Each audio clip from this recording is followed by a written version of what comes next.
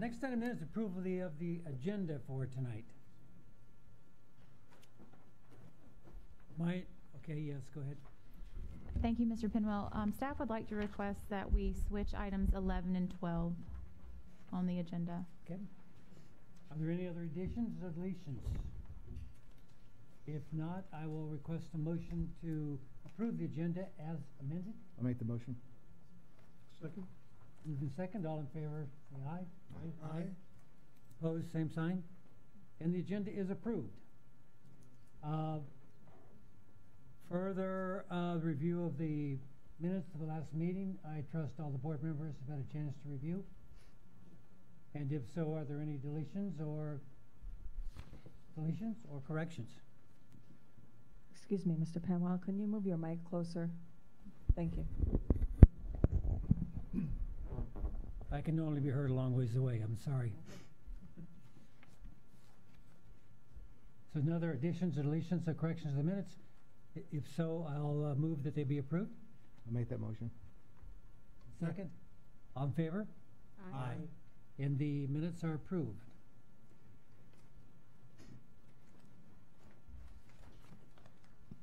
And now, before we proceed on, I'd like to um, remind the, the board and our attendees, planning board members, let's remember that conversations and remarks on this DS are, are meant to be a matter of public record. That being the case, I will ask that we restrict conversations, sidebars with our, with our friends and neighbors next door, make everything public, public and everybody will be heard.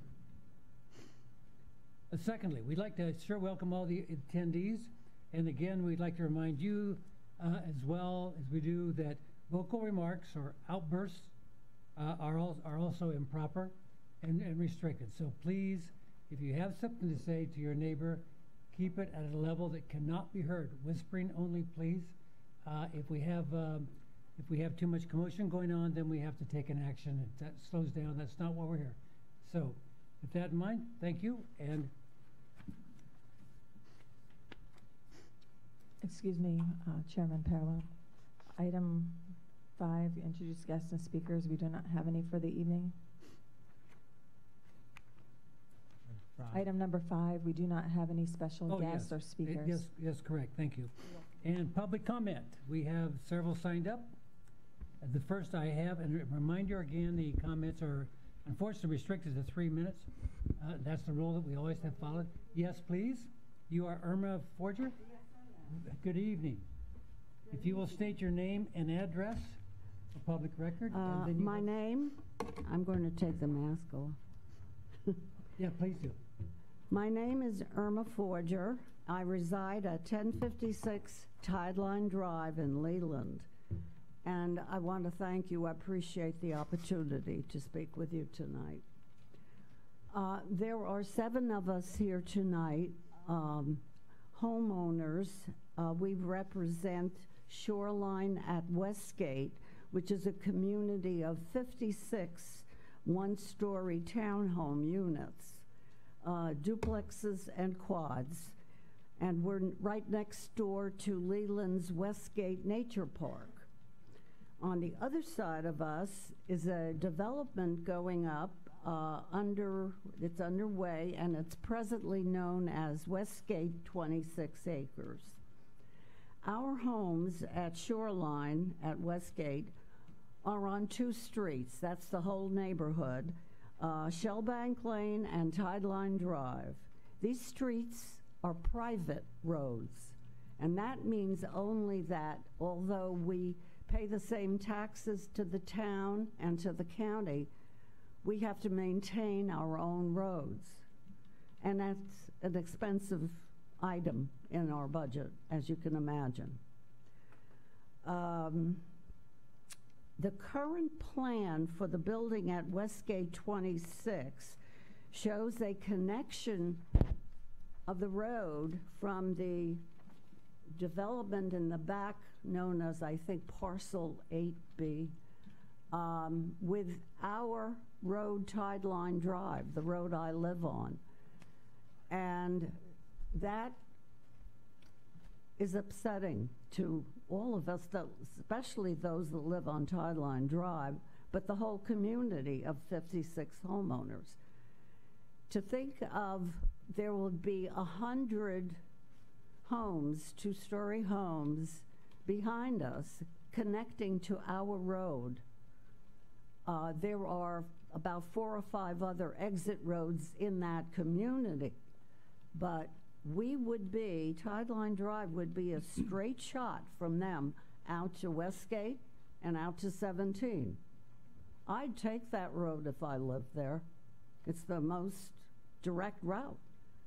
Uh, And to think that there were 100 units back there, if even half of those people drove, decided to drive through our street, that would about double the number of traffic, of traffic going on that street, where there were 24 homes on that street tide line.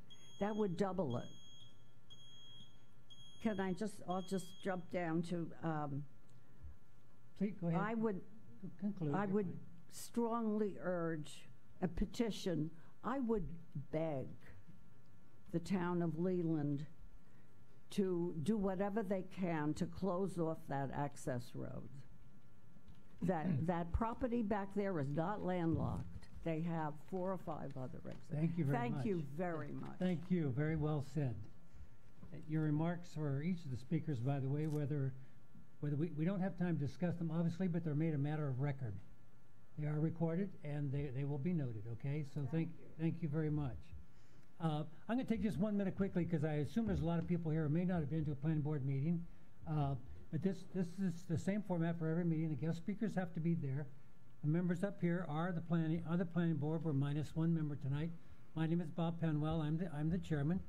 Uh, Over to your right, over here, is what we call the staff. Uh, Consisted of the, the senior planners. Uh, Sabrina Reinhardt is the town clerk.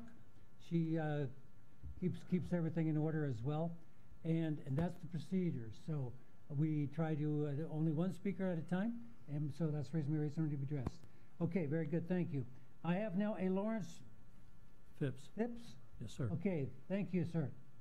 My name is Lawrence Phipps, and I reside at 1053 Tide Line Drive, Leland, North Carolina, 28451. I'd also like to thank you for allowing me to speak this evening. Uh, I'll give you a little history. Uh, I'm speaking also about the easement that Ms. Folder talked about. In 2007, the Planning Board approved the development of shoreline at Westgate. That's where we live. It was, uh, at that time, two parcels of land, parcel 8A and parcels 8B. And parcel 8B is a landlocked piece of property owned by SD West LLC at the time. Parcel 8A was developed with 56 housing units made up of both quadplexes and duplexes. And part, uh, and parcel 8B was never developed. It remains undeveloped at this time. In 2008, the SD West LLC placed two easements on parcel 8A. An easement to allow utilities to pass through parcel 8A, our parcel, and then a second easement, which is a road connection easement to allow, out of necessity, the uh, access to uh, parcel 8B. Uh, That would give them then access to Westgate Drive. Uh, that easement also required parcel 8A owners to be responsible for all parcel 8A road maintenance. Shoreline has two private roads, neither of which are maintained by the city of Leland, by Brunswick County, or by the state of North Carolina. Hmm. In 2014, SD West LLC turned over parcel 8A, again our parcel, ownership to the Shoreline at Westgate Owners Association. The 8A easements also became the responsibility of the Owners Association. Last year, parcel 8B was sold to Dominion Land Corporation, and they have combined parcel 8B with two other parcels to form a tract uh, of land identified as Westgate 26 acres. The entire tract will have their own access to Westgate Drive. that also will be a private road. The shoreline at Westgate is asking the planning board to allow for the removal of parcel 8A road access easement. If the easement is not removed and with the anticipated increase in traffic from the 256 homes, not 100 homes, uh, the shoreline at Westgate Community will be stressed to maintain our private roads. Uh, and, and I doubt that we will be able to properly maintain them as they are today. If the easement cannot be removed, we ask that at a minimum, the connecting access area be designated as a emergency use only. Having this restriction would allow emergency vehicles to access the new development, but restrict the use of shoreline at Westgate's private roads. Thank you all for letting me talk to you this evening. If you have any questions, I'll be happy to answer them. Hearing Thank none? you, sir. Thank You're you. welcome.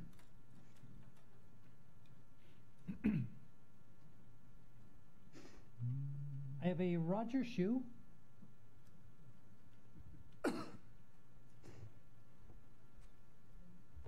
Good evening.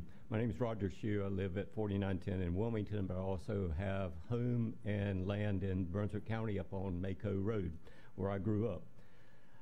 I've submitted numerous maps and images to you on this topic, which is the initial uh, look at the area of the point over on the river. And one of the things I will not repeat tonight is all those details for your benefit.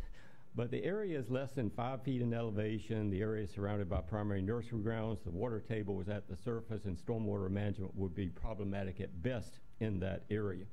But the real issue is the mm-hmm. water. In multiple days since the start of the year, Point Peter has experienced flooding to some degree.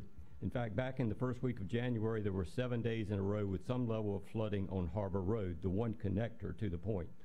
This was not a rain event, but just high tide flooding. During one of those days, the water level was 2.4 feet above mean highest high water. Water level is what the normal water level will be every day at mid-century, by the way. And if you add two to four feet of rise with storms, river flooding, or high tide flooding, which we've experienced six times in the last five years, then you're going to have issues of possible six feet of water on that property. At mid-century, we'll have hundreds of days of high tide flooding to deal with on that property, particularly enhanced by sea level. There is a reason there's regulations and limitations on development in high-risk settings such as this. CAMA regulations provide numerous cautionary statements on development here, and Mr. Pasquale's own words before he resigned from the development group were, anyone who says this area is not going to flood is a fool. Of course, you will hear the developer say that engineers can engineer around this. Well, engineers can do remarkable things, but it isn't whether you can do something, it's whether you should do something. No prudent person should put a major structure in an expanding and deepening floodplain. The developers say the riverfront mixed-use district will enhance and preserve environmentally sensitive areas along the river and that it will protect public access and preserve cultural and natural resources. I don't see how putting a 240-foot plus structure on wetlands in a floodplain surrounded by uh, nursery grounds is going to do the river or the land any good. I'd also like to make a comment on their statement that the proposed plan is consistent with Leland's master plan of highly valued and protected natural and cultural resources. They say the project will augment components of Leland's natural environment that will provide recreational opportunities, protect valuable natural resources, and keep people and investments safer from flooding. I will say this would be a structural miracle. You, could, you protect those things by working with nature and not by putting structures on nature. And finally, Leland's own 2020, 2045 comprehensive plan states we have goals of increasing environmental buffers around sensitive waterways and, very importantly, limiting development within the 100 year floodplain. I don't believe as what's planned between Thomas Roads and Isabel Holmes Bridge comes anywhere close to accomplishing any one of those particular goals. One last thing is that the Army Corps is now looking to move off of Eagles Island because of this flooding. That might be a cautionary statement to everybody. Thank you for your time and service, and I'd be happy to address any questions. And thank you, Mr. Shue.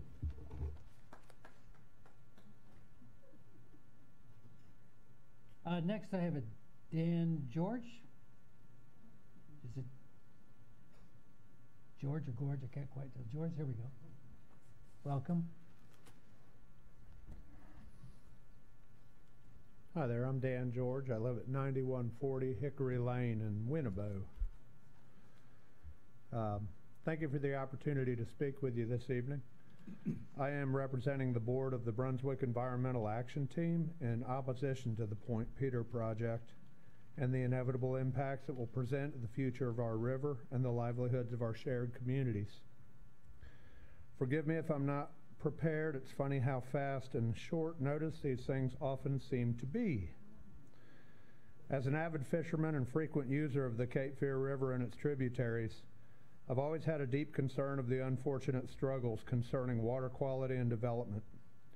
We have not been good stewards of our environment, and as a result, we now must contend with pollutants including coal ash, hog and municipal waste, GenX, and many other PFAS chemicals, insecticides, and fertilizers, just to name a few. This high rise development is a step in the opposite direction of where we should be headed, and it's located in the floodplain where inevitably which will inevitably cause future problems and expenses to the taxpayers. All of the pollutants and problems we are facing in the Cape Fear Basin are as a result of selling out to short-sighted development and industries. And in the end, it always falls on the taxpayers to fix it, as we're seeing now.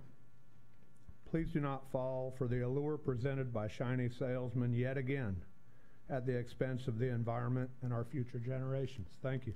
Thank you, sir.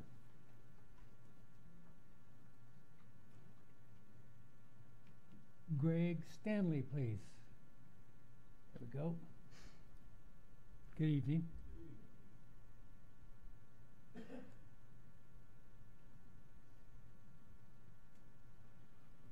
My name is Greg Stanley. I reside in the Westport community at 1014 Ringlet Court. I only learned of this uh, Peter Point discussion for this board last night via WECT News after learning that New Hanover, uh, New Hanover County had rejected the offers, I believe, of the developers.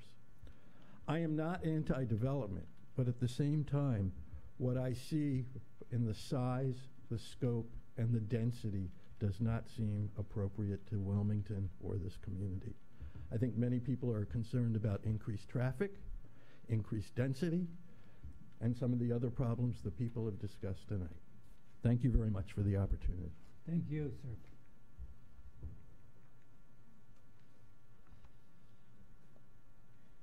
And uh, Sue Ann Rush.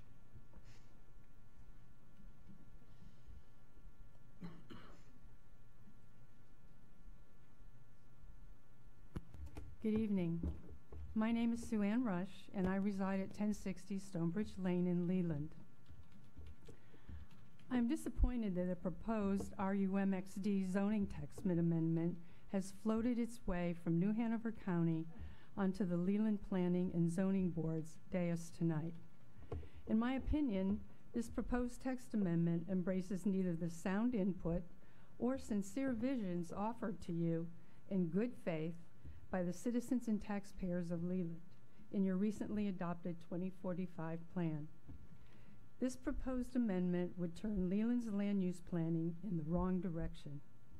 And that wrong direction is filled with financial potholes, improbabilities, uncertainties, and potentially dire consequences for our Leland taxpayers. in a paper published by the Association of State Floodplain Managers, regarding government liability, they provide us with a subtle warning that the courts have held local elected officials liable if they increase the hazards in floodplains. Building structures like what is under consideration at Point Peter will clearly increase flood hazards. I strongly urge you to reject this proposed amendment this evening. Thank you. And next up is uh, Brayton Willis, please.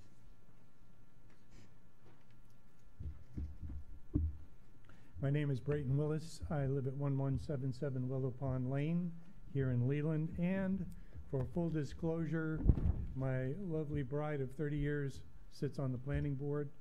And as a result of the, the uh, agenda being passed on Friday, I've been making my own meals and eating them with my dog alone.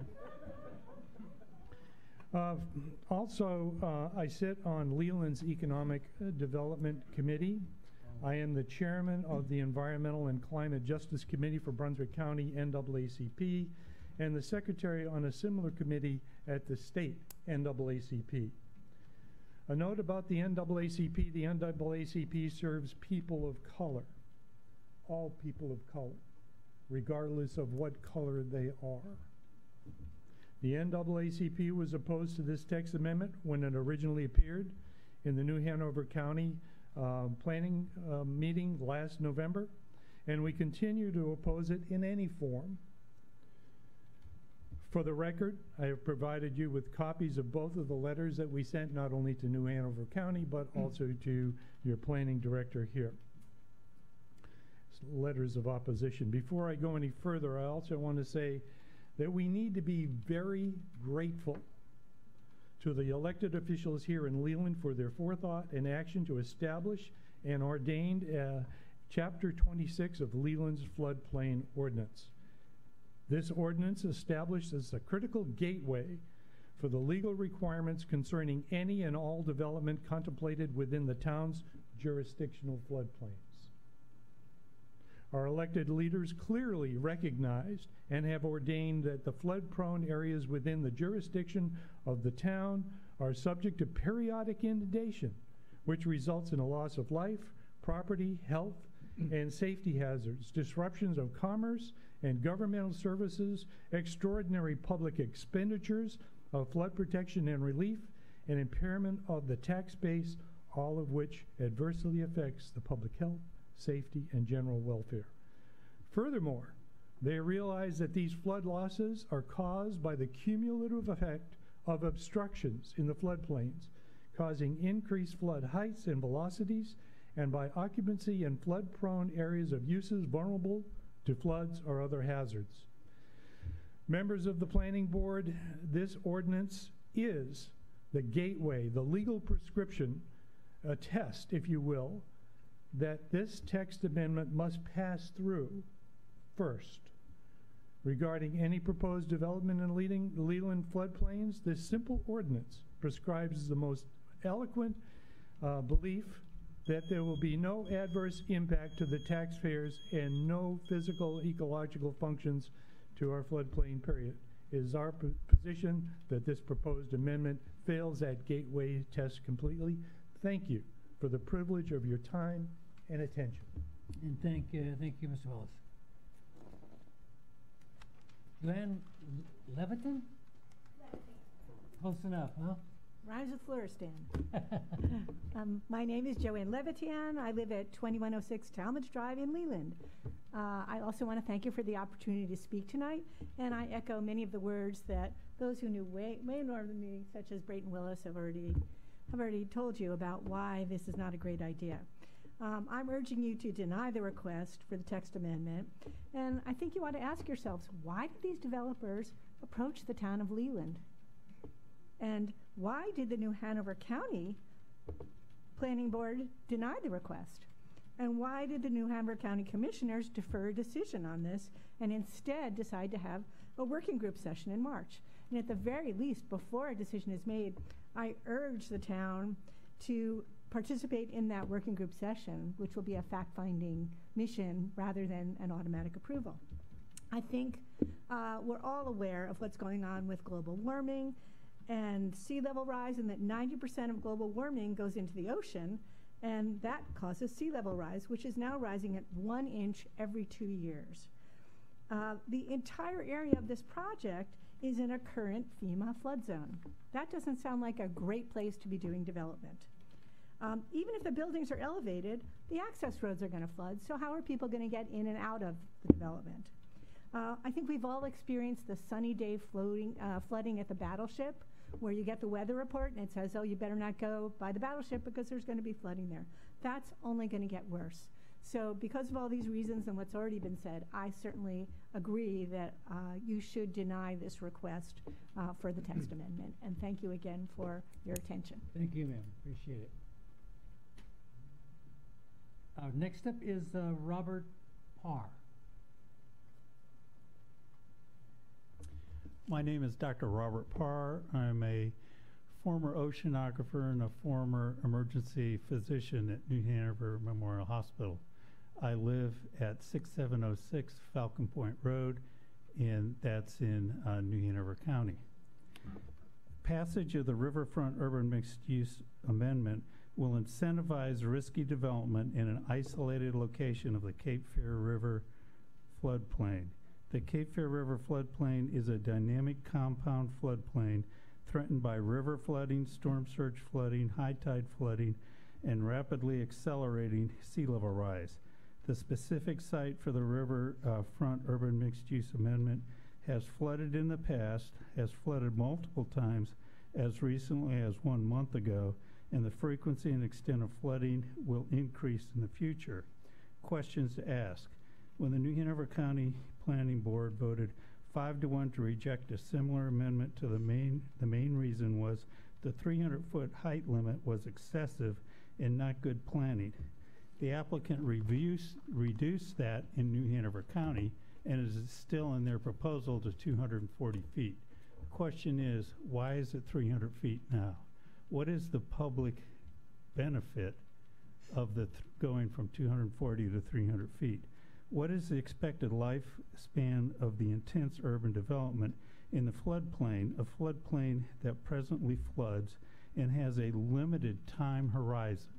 The time horizon for major flooding in that location is approximately 30 to 40 years.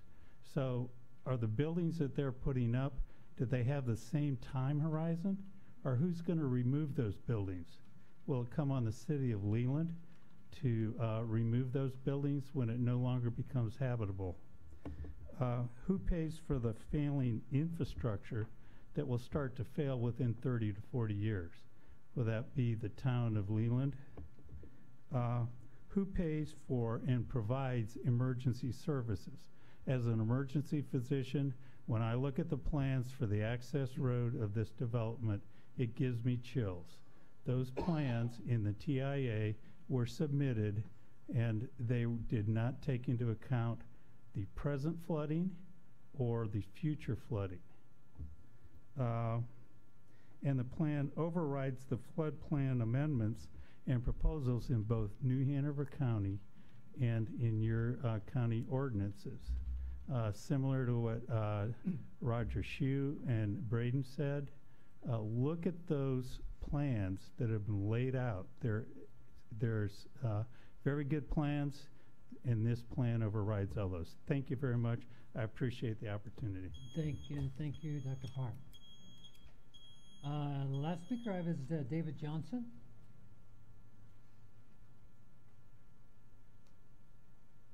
Good evening. Hello, my name is David Johnson. I live at 1202 South Sleepy Oak Lane in Leland, North Carolina. And I recently heard about the development on Eagle Island, and I just wanted to echo some of the thoughts here of my fellow residents of Leland. I am concerned uh, about sea level rises, and I've seen the flooding that's already taken place in that area. I know these obstacles can be remediated. Look at the Netherlands. It is possible. Are those in the plan?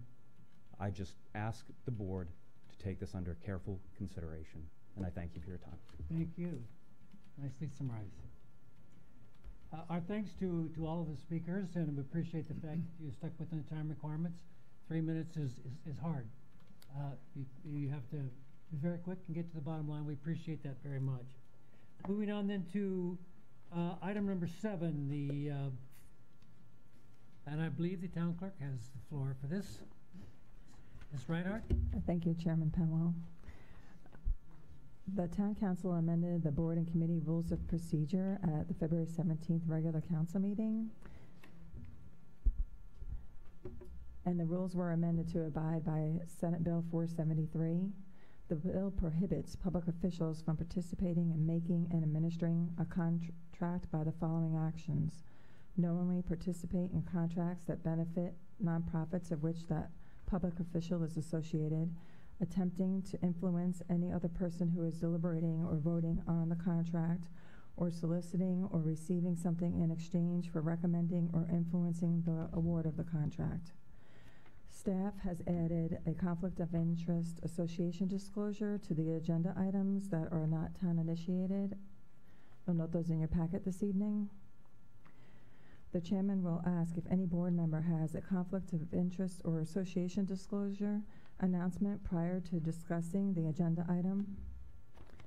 Since the boards and committees vote on recommendations, most likely the need to recuse a board member would be rare. If a board member needed to be recused, the board would follow Rule 19, duty to vote. A few other amendments were made to the rules of procedure because they did not apply to the boards and the committees. For example, state statutes prohibit boards and committees from holding closed session meetings. Were there any other uh, questions that you had this evening regarding those changes that were made or about the procedure? Just for clarity then, the question should be asked, does any of the board members have a conflict of interest or associations for each separate action item? Yes, sir. Okay, very good. Okay, anybody else? All right, thank you. Are there any questions from the other board members? Nope. Okay, very good, and thank, thank you. I, I, then it is, um, number eight. Uh, and, okay, there we go, go ahead. Excuse me. So, for example, this is the first item. Yep. And you would ask the board if they have a conflict of interest or association disclosure? Very good, very good. Are there any conflict of interest? Associations or other, other things that would, if not, the, uh, the answer is no. Thank you. Thank you. Well, good evening. My name is Ben Watts. Item eight point two is a preliminary subdivision plat, the Pinewood Canyon Two subdivision, parcel on the screen. Applicant is Hanover Design Services. This parcel total is approximately hundred and seventy acres. It's located just south of Grayson Park, north of Town Creek Road, and directly adjacent to the Pinewood Cannon One subdivision that you all reviewed earlier. It's currently zoned R6, which is our medium-density residential district. And This subdivision would result in 459 single-family residential lots. Application was reviewed, went through TRC, and all comments have been addressed as of February 9th. Here's a vicinity map. Directly above the site is Grayson Park. To the south, Town Creek Road. And again, to the right of the site is Pinewood Cannon 1, the first subdivision of this area. As I previously stated, the development would create 459 lots. They all meet the spatial requirements of our six performance standards. The roads are intended to be public with five-foot sidewalks on both sides. Mulholland Drive, a collector street, has an eight-foot multi-use path along one side. This development also contains 77.33 acres of open space, which exceeds the town's minimum active and passive open space requirements. Here is a site map. I've circled around the uh, current and proposed future connections. There are 12 of them. All of the required street connections are not shown. There is a requirement for one additional connection on the northern boundary, which I will show you in a moment. Now, the planning board may reduce the number of required vehicular connections based on environmental constraints that are indicated on the collector street suitability map. The suitability map does not provide data for this area, but based on the water feature, Beaver Dam Swamp, flood zones and wetlands in the area, the collector street would categorize this area as least suitable to somewhat suitable for future roadway connections. The applicant is requesting that the street connection requirements be reduced from two to one due to the presence of environmental constraints. So the northern boundary is circled here on your screen. Zoomed in a little bit. You can see that it's not a typical boundary, it's quite jagged, and that's because it follows the Beaver Dam uh, Swamp Creek, which feeds into Town Creek. The gray hatched marks uh, that kind of line the border here are all wetlands, identified wetlands. You can see to the top of the screen. There it is.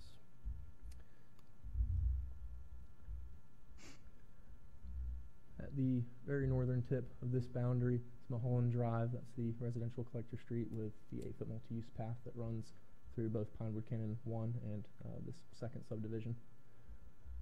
The hatch marks I was talking about, wetlands right here. Here's a flood zone map. The dark blue is the AE floodway. That's the 100-year flood zone where base flood elevations have been calculated. And the light blue is the A zone, which is a uh, estimate uh, estimation of the 100-year flood zone where base elevations have not been identified. Staff recommends that Planning Board approve the preliminary plat for Pinewood Canyon 2 as presented. If you have any questions, I would be more than happy to try to answer them for you. Questions, comments from the board? Mr. Chairman, I have a question. Uh, yes, sir.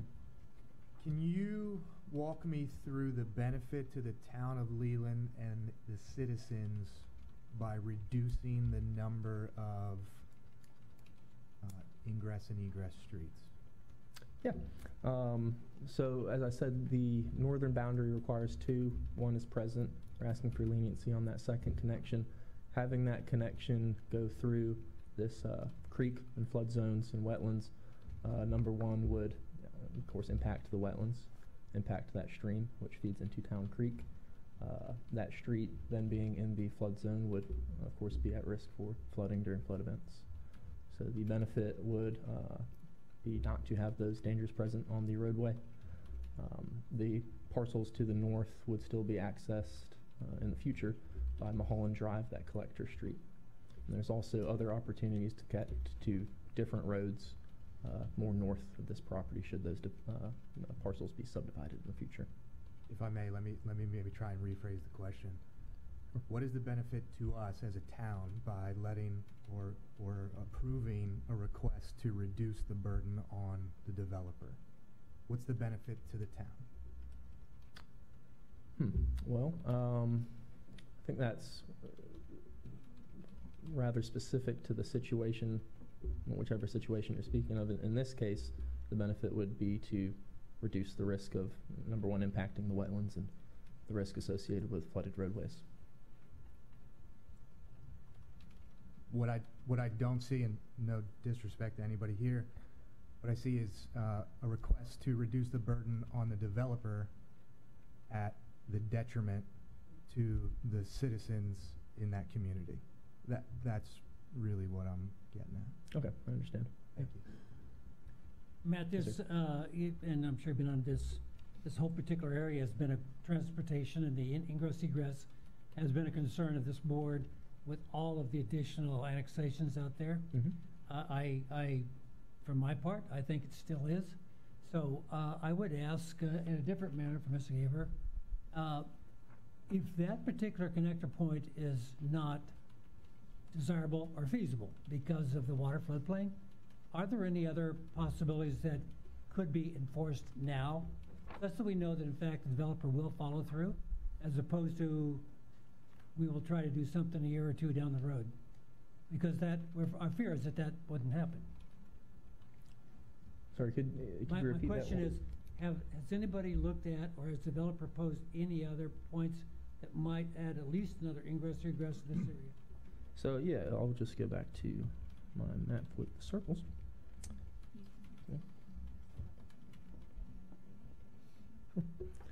Um, so uh, on the screen before you here is the uh, overall uh, site plan for this Pinewood 2 subdivision.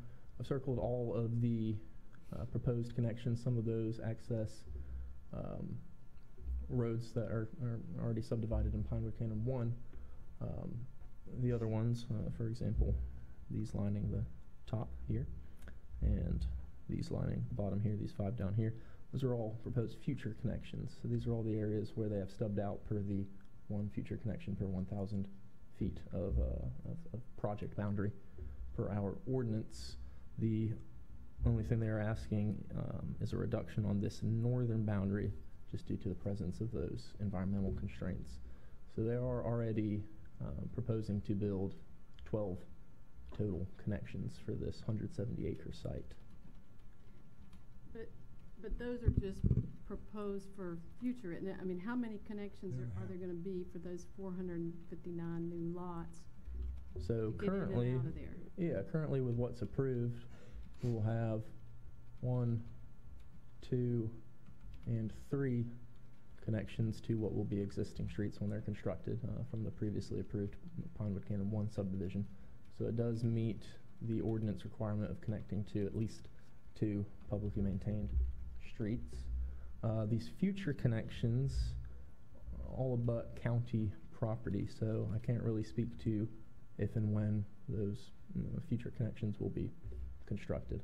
That's why we require them to stub out, you know, just in case people in the future do uh, develop those properties, they can connect to these stub outs. Uh, yes, Joe.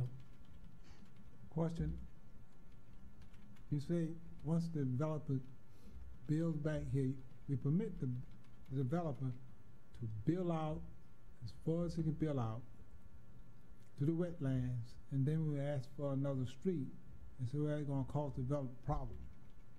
Because, you know, that, that road's gonna flood. But you permit, we permit the developer to build all the way back to the wetlands. Talking about uh, Mulholland Drive right, here? That's right. Yeah, and that was explained to me as there's already an existing uh, path, I won't really call it a road, um, uh, path that crosses Beaver Dam uh, Creek there. So that's why they propose Mulholland Drive kind of shifting directions and matching up with what's already existing on the site. There are no other existing crossings over Beaver Dam Creek, or Beaver Dam Swamp rather. Um, But- but as far as flooding, the same problem we'll have with all these homes back here. If we have the, the big rain that we're talking about, For these ones? right, all these homes on this back street back here and all the wetlands back there, we're saying that only thing gonna flood if, is this street here. Developers say, I don't wanna go that far because, you know, it's gonna flood out. Well, how about these homes? Well, the, these homes are positioned outside of the floodway and outside of wetlands. So the developer's done a, a good job at keeping the homes away from these environmentally sensitive areas. They're now asking to, you know, keep the uh, roadway connection also out of those environmentally sensitive areas. And my last question, Mhm. if you ever recall Stony Creek, it flooded. And maybe I'm just thinking the developer say, hey, we're doing a good, Yeah, Mr. excuse Mr. me. Thank you. There was an area called Stony Creek down there off of seventeen. Maybe the developer said the same thing years ago that, you know, that water's not gonna get there, but a lot of people lost their homes. Mm-hmm. Back at, Town Creek runs back of there. So I'm just, just, just concerned that, and I really have a problem with, with connectivity. Yeah. Four hundred and some odd homes and you got just a couple ways to get in and out. The issue I'm having is that we're building all these development off of seventeen. Everybody got to dump out on seventeen. The state saying we wanna keep it a thoroughfare, we don't wanna put up more stoplights. That's the problem coming down seventeen. Cause all these homes are dumping right out there at Town Creek Road. Right, and that's why The traffic. The great thing is, we looked at, we talked about coming through Grayson Park and be able to dump out on eighty-seven, then that traffic, could, if they had to, could go on up O eighty-seven, up to seven four seventy-six. Exactly. That was another way. But look like we're still locking ourselves in as far as all that traffic coming to seventeen. It, I understand. A- And to be clear to me, on my point to follow what they're saying, is that, uh, and I understand what you're saying, the developer says, uh, he will provide all these other connector points in the future. But I have yet to see anything that says what the future is. One year, five? Well, the, Because if, if they're gonna wait for four hundred and fifty houses to be built back there, that's, that's not good. So, uh, I mean, if, if you have a schedule for that, can, can you comment on that? Yeah, um, so all of these circled connections, um, some of them, uh, these three, for example, will connect to previously approved subdivision roads. All of these ones are going to be constructed and stub out to the uh, adjacent properties. I can't say when these stub outs, for example, this one, when this will And be and that, that's my connected. question. Because it's, It- it's Has the developer given you a schedule? for when other properties will be Yeah, no, built out. okay, no, he can't, yes. No, yeah, I- Yeah, I just can't a really speak to concern, that. same concern. Mr. Chairman, a couple comments if I may. Please? What you have before you is a subdivision that meets all the ordinance requirements with the exception of the second connection, as Mr. Watts pointed out to you. I don't know that requiring that second connection is going to appease the board's concern of a, a connection to an addition, to a existing road. I would opine that some of those connections shown in the circles are more likely to become a reality before the connection that they're asking for a waiver for.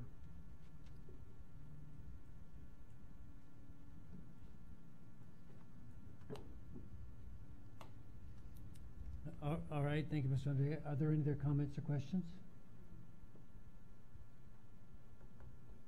If not, I will call for, if anybody chooses to make an amendment.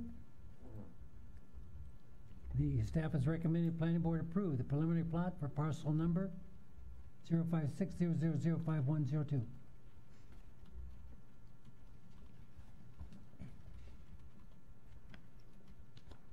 No motion? I deem that to be a a allowable period of time, and the motion uh, is denied. Very well, For thank lack you. of, a mo- lack, the action is denied for lack of a motion. Okay, thank you.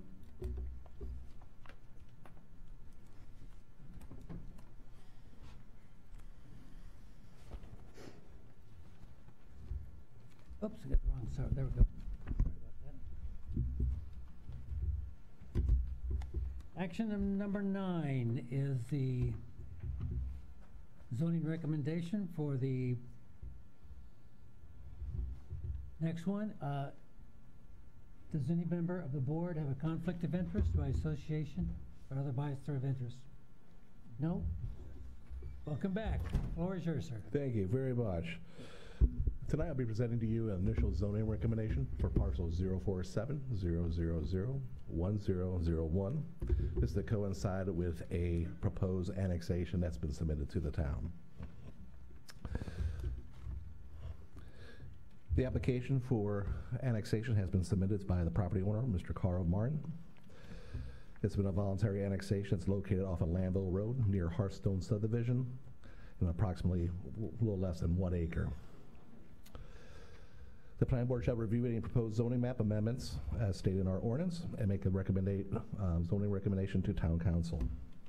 In January 18, 2022, a voluntary annexation was received from the petitioner, and the town council adopted a resolution directing the town clerk to investigate the peti- petition last week at the town council meeting. On the screen is a vicinity map of the subject parcel outlined in red. As you can see, the proximity to Hearthstone to its north, or west, I should say. All the areas outlined in blue and in shaded blue are part of the town's jurisdiction. All the other items that are in white are currently in the incorporated area of Brunswick County. On the screen is the aerial uh, photography, shows the, the development as currently in that area. Again, the subject parcel is outlined in red. The location of the nearest flood zones are off to the, off to the east.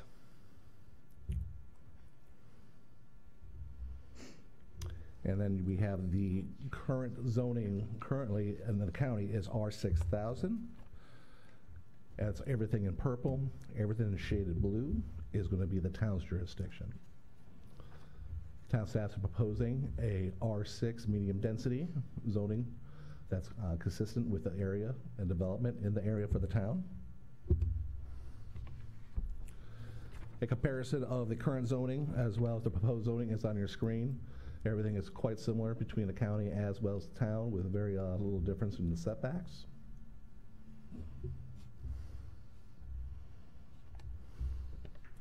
And then our future land use map, that's in our uh, comprehensive 2045 plan, does designate this area as natural resources or oriented development or moderate development potential.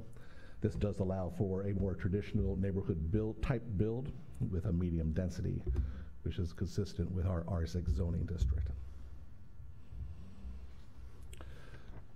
In, um, in relationship to a consistency to our master land use plan, uh, the proposed zoning is livable, it supports the livable, diverse, and connected neighborhood that accommodates growth. In particular, promotes growth where there's already an existing and planned funded roadway and utility infrastructure for the town. In addition, it also incrementally expands the town boundaries based upon the existing infrastructure, adjacency to existing development, economic opportunity, and the availability of community services and need. That said, staff does offer recommendation for planning board to um, re- recommend an R6 medium density um, zoning as is consistent with the Leland 2045 uh, strategic, I'm sorry, strategy of locating and accommodating growth as reasonable in the public interest because of the proposed zoning is consistent with the adjacent zoning and development. With that, I will take any questions. Ms. Please. Uh, Andrew, since action item ten is the nine point six six uh, acres surrounding and, and behind this parcel, safe to assume that this will uh, be a development at some point? Actually, no, it's not. It's actually two separate applications. Um, On the stated annexation submissions for this particular one, it states for a single, single-family home. Um, The next one following will be for a, it looks like it appear to be a major subdivision of 35 subdivisions. But there's no plan of, that's been presented to staff that is going to be the same. It just happens to be at the same point. Got it. Thank you, sir. Sure. Any other question? No comment? If so, I'll entertain a motion. Make the motion. And if you will, please, this one has to be read. You can do this. This request is consistent with the objectives and policies of the following pla- I'm not reading. No, you're not. Right, that's Here, the one on my here, page. here. I have the, I have the wrong one. I think you're on the, Okay. Motion to recommend the council approve the initial zoning and annexation area as R6 medium-density residential district as the board finds that the initial zoning request is, one, consistent with the Leland 2040 strategy of locating or accommodating growth within the log- logical locations in the planning area to enhance and return on investment and feasibility, and two, reasonable in the public interest because the proposed zoning is consistent with the adjacent zoning and development. okay, I played with that. Look, at look at your screen. Uh, A motion's been made. Do I have a second, please? Second. Moved and second. Comments or questions? If not, all in favor say aye. Aye. Opposed, same sign. Motion passes. Thank you. And we move on to action item number 10. The, another voluntary annexation is essentially the follow-on. Does anybody have any conflict of interest or association uh, bias? Nope? If not, Andrew, continue, please. As it was alluded to before, this is going to be a very similar um, presentation due to the proximity. Um, It's just, just two separate applications, so may run through this a little bit quicker. So again, this is an initial zoning recommendation for parcel 04700010002. The applicant is Hilla Builders, and the the prop- the parcel is approximately 9.66 acres, again, located off of Lanvale Road near Hearthstone.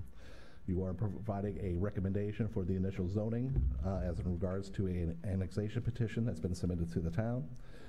Um, The February 1st, the application was provided to staff, and February 17th was when town council directed the town clerk to initiate the petition, investigate the petition, pardon me.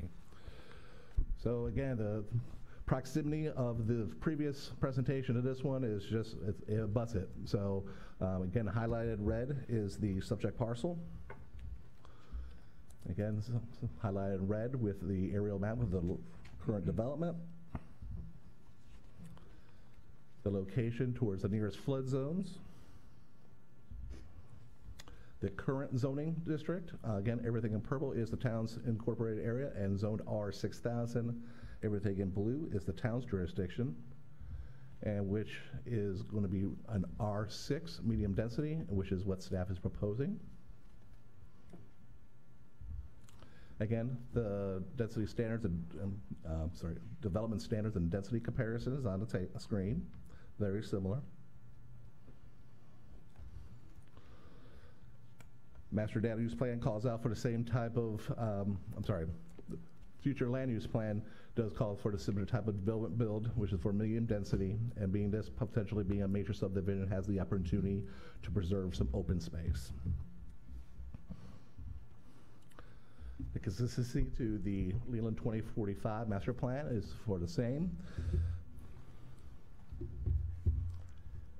And moving forward into our recommendation, staff recommends um, that planning board make a recommendation for the R6 for the same reasons as our previous presentation. Comments, questions? If not, the chair will recommend approval and a motion to recommend council approve the initial zoning as R6 medium density residential district. As the board finds that the initial zoning is consistent with the Leland 2045 strategy of locating or accommodating growth within, within logical locations in the planning area to enhance return on investment and feasibility, and two, reasonable and in the public interest because proposed zoning is consistent with the adjacent zoning and development. Is there a second? Motion and second? All in favor? Aye. Opposed? And motion passes. Thank you very much. Now we're uh, going to move to um, action item number 12. And before I start that, once again, this SISAC master plan update. Any, any conflict of interest by association or? There are none? Thank you. Go right ahead. Just gonna skip through number eleven here. Bear with me. All right. Item twelve point two is the site-specific plan and master land use plan update for parcel zero five eight zero zero zero zero seven, which is the Brunswick Forest master plan, uh, master parcel. Applicant is Funston Land and Timber. Brunswick Forest is an approximately forty-six hundred acre planned unit development off of Highway seventeen. Uh, The parcel before you is the master parcel that was originally split up and continues to be subdivided. The site-specific plan and master land use plan update is for Phase 9, Section 2. Here's a vicinity map. You have Brunswick Forest Water Tower to the north of the site, Sunny Point Railroad running along its eastern edge. This is at the very southern portion of Brunswick Forest PUD.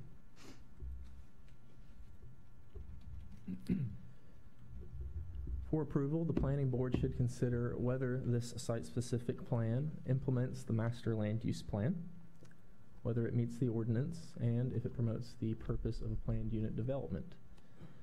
So this implements the master land use plan by uh, providing the lots that parcel D was approved for in the master land use plan. All ordinance requires, uh, uh, excuse me, all ordinance requirements are met with this subdivision. And all areas in parcel D are intended for residential uses, therefore promoting the purpose of this planned unit development.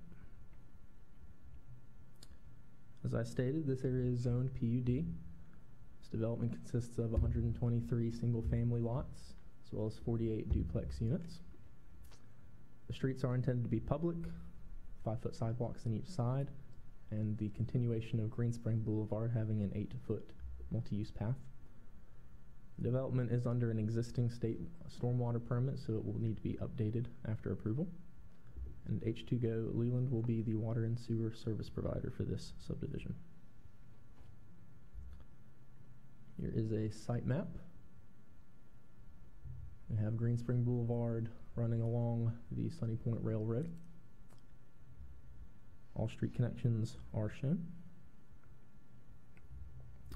And staff concludes that ordinance requirements are met and recommends that the planning board approve this site-specific plan and master land use plan update. If you have any questions, I'd be happy to answer them. Question? I have a comment. Yes, please. Um, I was pleased to see that there's a boulevard running along the railroad rather than having the houses backed up to the railroad. Yeah. Talking to you, Mike, please. I was pleased to see a boulevard ro- um, adjacent to the railroad rather than to have the houses backing up to the railroad. It gives a little more of a buffer there. Absolutely. Good, thank you. Any other comments, or questions? If not, I will uh, call for a motion. I so move. A second? Second. The move and second that staff um, concludes the ordinance requirements are met and recommends the plan and met site-specific plan and master use update. All in favor, say aye. Aye. Opposed? Motion passes. Thank you very much. And now we go back to item, action item number 11, please.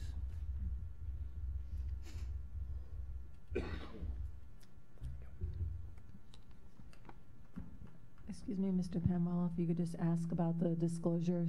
Oh, I'm sorry. That's okay, Uh, thank with you. This one, uh, again, once again, are there any persons of conflict of interest or by association? No, sir. None? Proceed, thank you. Thank you. So item 11.2 is a Brunswick Forest Master Land Use Plan amendment. The applicant is Hanover Design Services. Brunswick Forest is a plan unit development located off of Highway 17 and directly abuts Mallory Creek Plantation on its eastern side. Again, this PUD is approximately 4,600 acres. Now, all PUDs, including Brunswick Forest, are developed with a master land use plan. And any changes to land use designations within these master land use plans must be approved by planning board and town council. Here's a site map outlining in red the entirety of Brunswick Forest's PUD. We have Highway 17 to the north. To the east is Mallory Creek Plantation. And splitting the PUD down the middle, more or less, is the Sunny Point Railroad.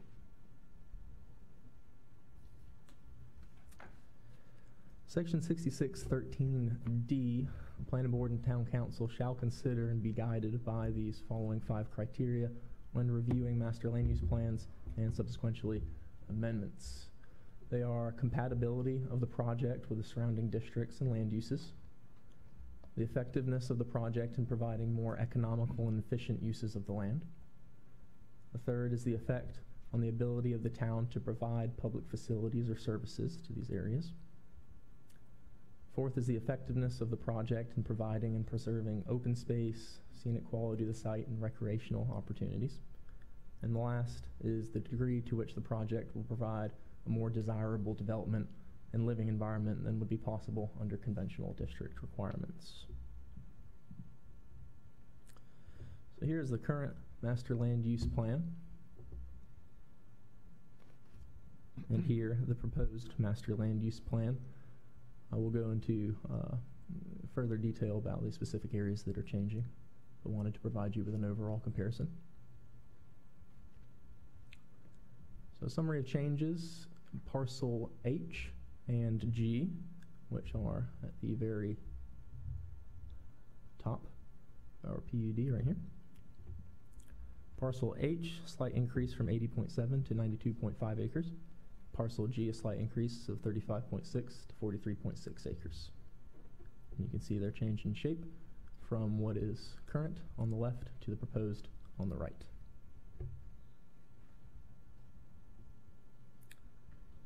In the similar area of our civic space, is a decrease from 70.2 to 64 acres.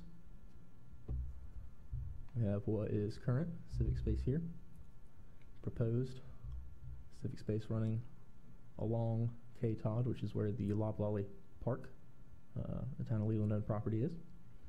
And additionally, in parcel A, running along the edge against Mallory Creek.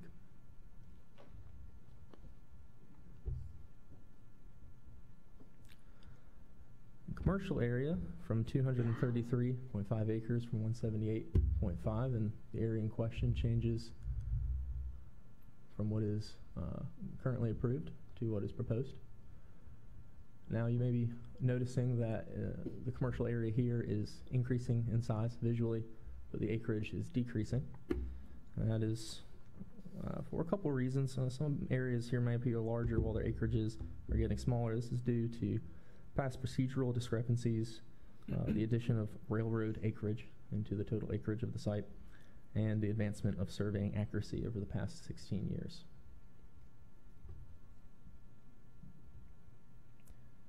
Another change is parcel D, this larger parcel that runs from parcel H and G all the way down to the very tip of the PUD. Slight change in acreage here, increase of about 10.6 acres, mainly changing this northern boundary and making room for the civic space on the right side of parcel D.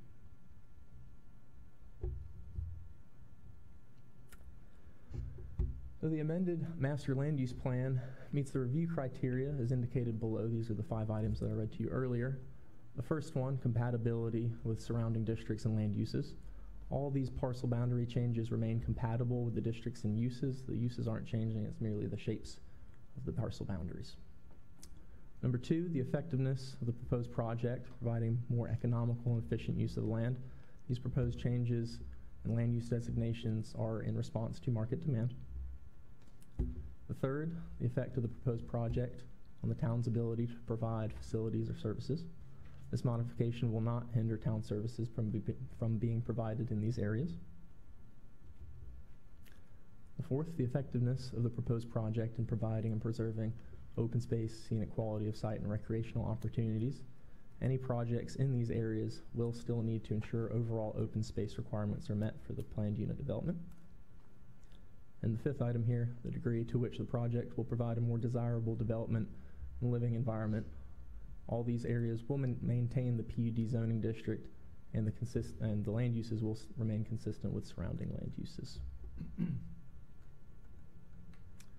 Staff recommends the approval of this master land use plan amendment for the Brunswick Forest PUD. If you have any questions, I'd be more than happy to answer them. Comments or questions? This area's continued to grow, and we've covered most of that area. Mhm. Uh, you know, with our con- concerns, this is a good development, and, and, uh, as well as comment was real good. As a matter of fact, that is, I'm happy to see that too.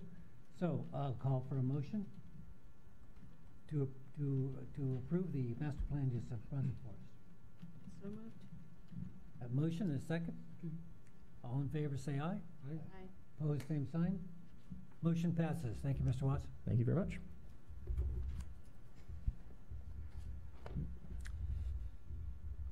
And action item thirteen. Does anyone at this point in time have conflict of interest by association or other disclosure? Mr. Chairman, I have, um, full disclosure, my husband did speak earlier on behalf of the NAACP. All right, thank you. Any others? If not, good evening, Mr. Andrea. Good evening.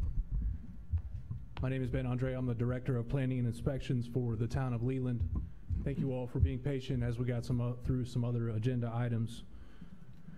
The next item on the agenda is a discussion of a proposed text amendment to establish what is being referred to as the Riverfront Urban Mixed Use District. I'd like to take a second to talk about the text amendment process in the town of Leland and how that pertains to what's going on here tonight. We have a series of arrows here on the screen. I'm going to explain kind of the flow of a text amendment through the town's process here. Usually prior to applications being submitted, we have some conversations with the potential applicant about what they are proposing to change or add to the town's code of ordinances. Call that a pre-application meeting. In some instances, in response to that meeting, the applicant will go back and make some revisions to what they're proposing. That's an optional step in the process.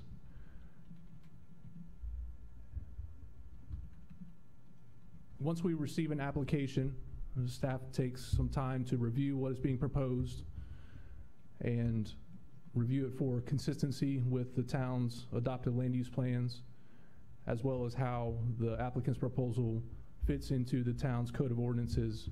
Does it make sense logically how it's organized? Does it create any conflicts within our code of regulations? After the staff performs our review, we schedule it for an item on the planning board's agenda, which is what has happened here tonight. Uh, That scheduling of that item can happen in a couple of different ways. We can schedule it as a discussion-only item, which we typically do, staff typically does, in the instance of complex or potentially controversial text amendments. Uh, In some instances, staff will schedule the item as simply uh, item that we ask the planning board to take an action on. Regardless of how staff schedules an agenda item, the planning board does have the option to propose a motion, that motion being either to approve, approve, recommend approval, uh, recommend denial, or continue the item. If the planning board chooses to continue the item, it gets scheduled for another planning board meeting. If the planning board continues it to a date certain, uh, that date is made uh, as part of the motion. Ultimately, when the planning board has reached a point where they want to make a motion on the item, they are are tasked with making a recommendation to the town council uh, on whether or not to adopt the uh, proposed text amendment. The planning board, uh, planning board's recommendation is not binding to the town council. The town council can choose to uh, take an action that is not consistent with, with what the planning board recommends. Uh, The town council can also choose to take an action that's not consistent with what uh, staff recommends. The town council can also choose to remand the item back to the planning board, uh, which is the arrow going back to the planning board there. Um, At the town council public hearing, um, the outcomes, assuming they don't continue the item or remand it back to the planning board, the town council uh, outcomes can be a few different things. They can make a motion to approve the text amendment, and that motion can be to approve it as it's presented to them. They can approve something uh, that's modified, a modified version. They can approve what staff recommends, they can approve what planning board recommends, or it can be a combination of those things. If the town council takes no action or uh, chooses to pass a motion to deny the text amendment, then ultimately the amendment does not become effective.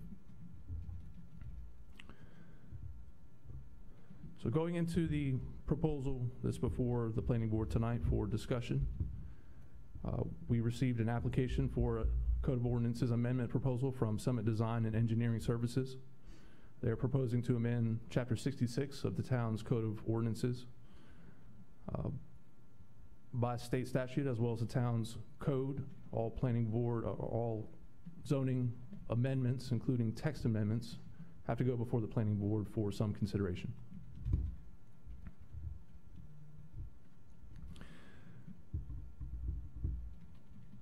The applicant's proposal would create a new zoning district called the Riverfront Urban Mixed Use District. The proposal would also modify the table of permitted uses in the Code of Ordinances to establish what uses are allowed or not allowed in this new zoning district. And the proposal would create a set of supplemental regulations that would be imposed on development in this zoning district. As is currently drafted, this zoning district would be limited geographically in its area of applicability to in between the Thomas Rhodes Bridge and the Isabel Holmes Bridge.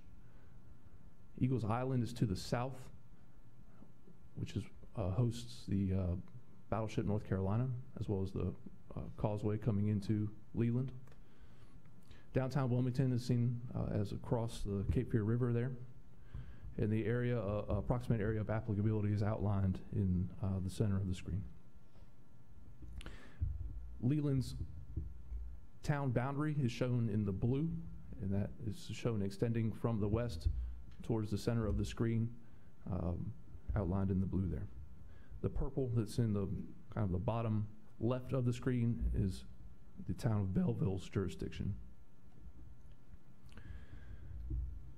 I'm going to go through this proposal in chunks tonight. So I'm going to start here with uh, the establishment of the zoning district. In our Code of Ordinances, we have a table outlining our existing zoning uh, districts. We have 12 of them. Uh, some of them pertain solely for residential. Uh, we have three commercial districts. We have an office and institutional district. We have a multifamily residential district that accommodates a variety of residential uses and a planned unit development district. We also have a conservation district that was recently modified to uh, broaden its area of applicability in the town. So what we're going to look at here on the screen is what is from the proposal. I'm going to read through each of these. You all are welcome to stop me and provide your comments. I'd like to do that as we go, uh, rather than circle back and work through it again. Okay? Okay? So this proposal would create a new section, section 66141, and would establish the Riverfront Urban Mixed-Use District, saying it is intended to meet 14 primary objectives for development fronting the Cape Fear River on the south end of Eagles Island. Development in this area is intended to be resilient in nature and urban in scale, and is envisioned to encourage an efficient mixed-use development pattern, enhance and preserve environmentally sensitive areas along the river, protect public access to the river through the creation of quality public spaces, preserve cultural and natural resources. Did you want to go through these one by one, or are you just going to read them all first? If you have some comments, I'll stop right now. Yeah, Well, I'm trying to figure out how this would enhance and preserve environmental sensitive areas along the river. Sure, that's a good question. I think that uh, I would say that later on in the actual supplemental regulations, there are some, uh, some requirements pertaining to resiliency and low-impact development that would uh, get to the purpose statement in that bullet. So you want me to wait a little longer to ask some more questions? Yes. Okay. So what we're looking at here are, i- this is the purpose statement. So what this is doing is setting the framework for what the zoning district should do. These bullets that we're seeing here are not obligatory regulatory confinements for development. This is saying what this development should do. The supplemental regulations section later that we'll go through in in more detail, it's a lot more wordy. Uh, That is, those are the requirements that would need to be met. So this is saying, here's what the zoning district should do. The supplemental regulations should be written in a way to meet these intentions. Hmm. I'll continue. Preserve cultural and natural resources, ensure quality design in a variety of built forms that result in a human scale environment that not only enhances the pedestrian realm but offers vistas in both easterly and westerly directions. Promote and enhance transportation mode options, particularly pedestrian and water oriented options provide an opportunity for development that is designed with the intent to create a net positive environmental impact in formerly industrial areas. Encourage a mix of uses that foster a sense of community and creates a destination for residents and visitors alike. Create a dynamic and active public realm embedded with resiliency components with ground floor mixed-use development that accommodates flood protection. Aid in community-scale coastal resilience and be designed with risks in mind adapt resiliency concepts to recover quickly from both small and large storm events, incorporate design techniques to adapt to sea level rise, bolster urban ecosystems, and support brownfield remediation where it's applicable. This is still under the purpose section here. So again, still describing the intent of the zoning district. This paragraph is talking about that this zoning ordinance, the zoning district should allow for an integrated mix of uses on particular uh, individual sites. Uh, That mix of uses being in individual buildings where possible. And also in this paragraph, it does mention specifically the geographic applicability of this zoning district. Finally, under the purpose statement here, it alludes to temporary and accessory uses will be allowed in the, uh, per the existing section of the code that talks about uh, temporary and accessory uses. The next section I'd like to spend some time talking about, or at least hearing some feedback on, is the table of permitted uses. I have not prepared slides to go over the entire table. It's quite lengthy. Uh, In summary, the the uses that are proposed in the zoning district are uh, what would be considered congruent with the compact urban scale of development that is envisioned in this zoning district. Uh, So at this point, we'd like to hear any feedback that you have about the uses that were provided in your agenda package. Mr. Chairman. Um, I guess I questioned country club and related uses. And public utility water and public utility workshop and storage and group housing. And- And what is your question? I just questioned why you included them in the table. Okay, it's fair, fair question. Um, So this is the applicant's proposal. Uh, It would be staff's opinion that those uses would be uh, consistent and not incongruent with what the zoning district describes. Country club and permitted uses uh,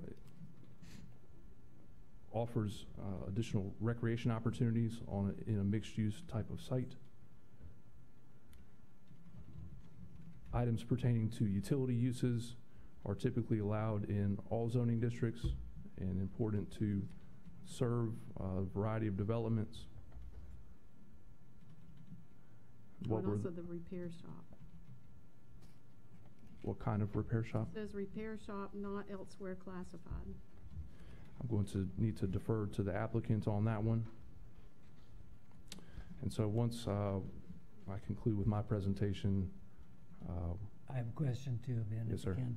Uh, The uh, assisted living facility, uh, because un- unless I'm wrong, uh, those assisted living facilitary, facilities uh, are then campused and come under their state requirements as not, as opposed, as opposed to municipalities?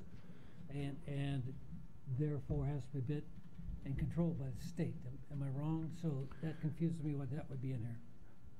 So th- what you said is, is accurate in that there are state regu- regulations pertaining to assisted living facilities. They are not exempt from zoning regulations, and so local jurisdictions do have the authority to decide in which zoning districts they can or should oh, occur or should not occur. Okay?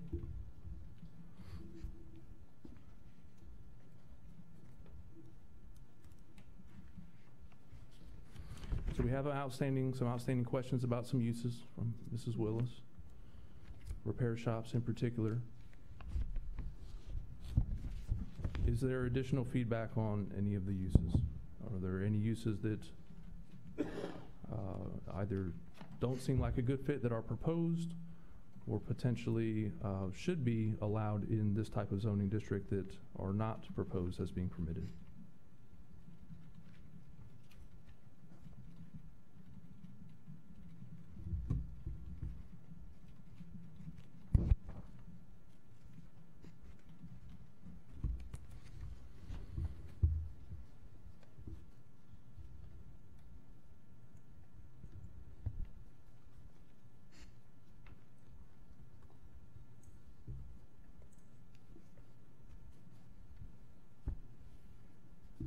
Can you quickly tell us what home occupation is? A home occupation is a, a type of use that's typically run out of someone's home. Those are uses that uh, do not create any additional burden on the surrounding community. A typical home occupation may be something like an accountant that does not have a- Oh. separate office but works from home, Okay. perhaps has an occasional person, use client. in, in a private home. Correct. Okay, Yeah. thank you.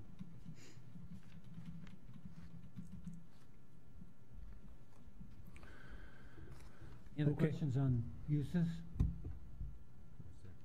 None? If not, we can Okay. move on, Yeah, we have some outstanding ones that we'll circle back to. okay? The next area for consideration is amendment to the parking requirements under section 66, 260 276, excuse me. Uh, The applicant is proposing uh, no minimum or maximum for the number of required parking.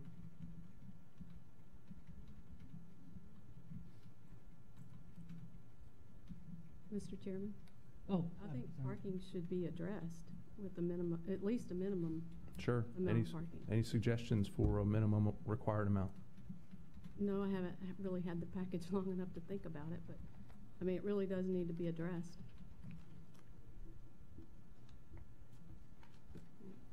My, my thought on, on that is, my understanding is we don't have, um, an architectural drawing, we don't know how many units are gonna be there. And the height and number of residents determines the formula that determines parking. Is that correct? Typically, parking requirements are based on the type of uses that are proposed on a development. The exception in our ordinance is when we establish the innovation district and we set a blanket, blanket minimum of one space per 1,000 square feet regardless of what type of use that was. Correct. As you may recall, staff proposed no minimum parking in that type of district. Uh, That type of district is similar to this one where it suggests a compact urban style of development that's not necessarily oriented around uh, utilizing the vehicle to get, to get around. I, I guess my question is, I understand the concern, and the question is good. Do we have enough information at this point in time to address formulas previously used for minimum parking? Obviously, maximum parking is desirable, but am, am I not understanding it correctly? As an alternative to what is proposed, the parking requirements that would be applicable in this zoning district could, could defer to the existing rows in this table, where it lists the individual parking requirements based on the type of use. This is the table that we referred to uh, when we are reviewing site plans to ensure that they have parking that fits within the minimum and maximum. And so as an alternative, uh, that could uh, be a way to regulate parking in this zoning district. Okay, thank you. Um, Question, please.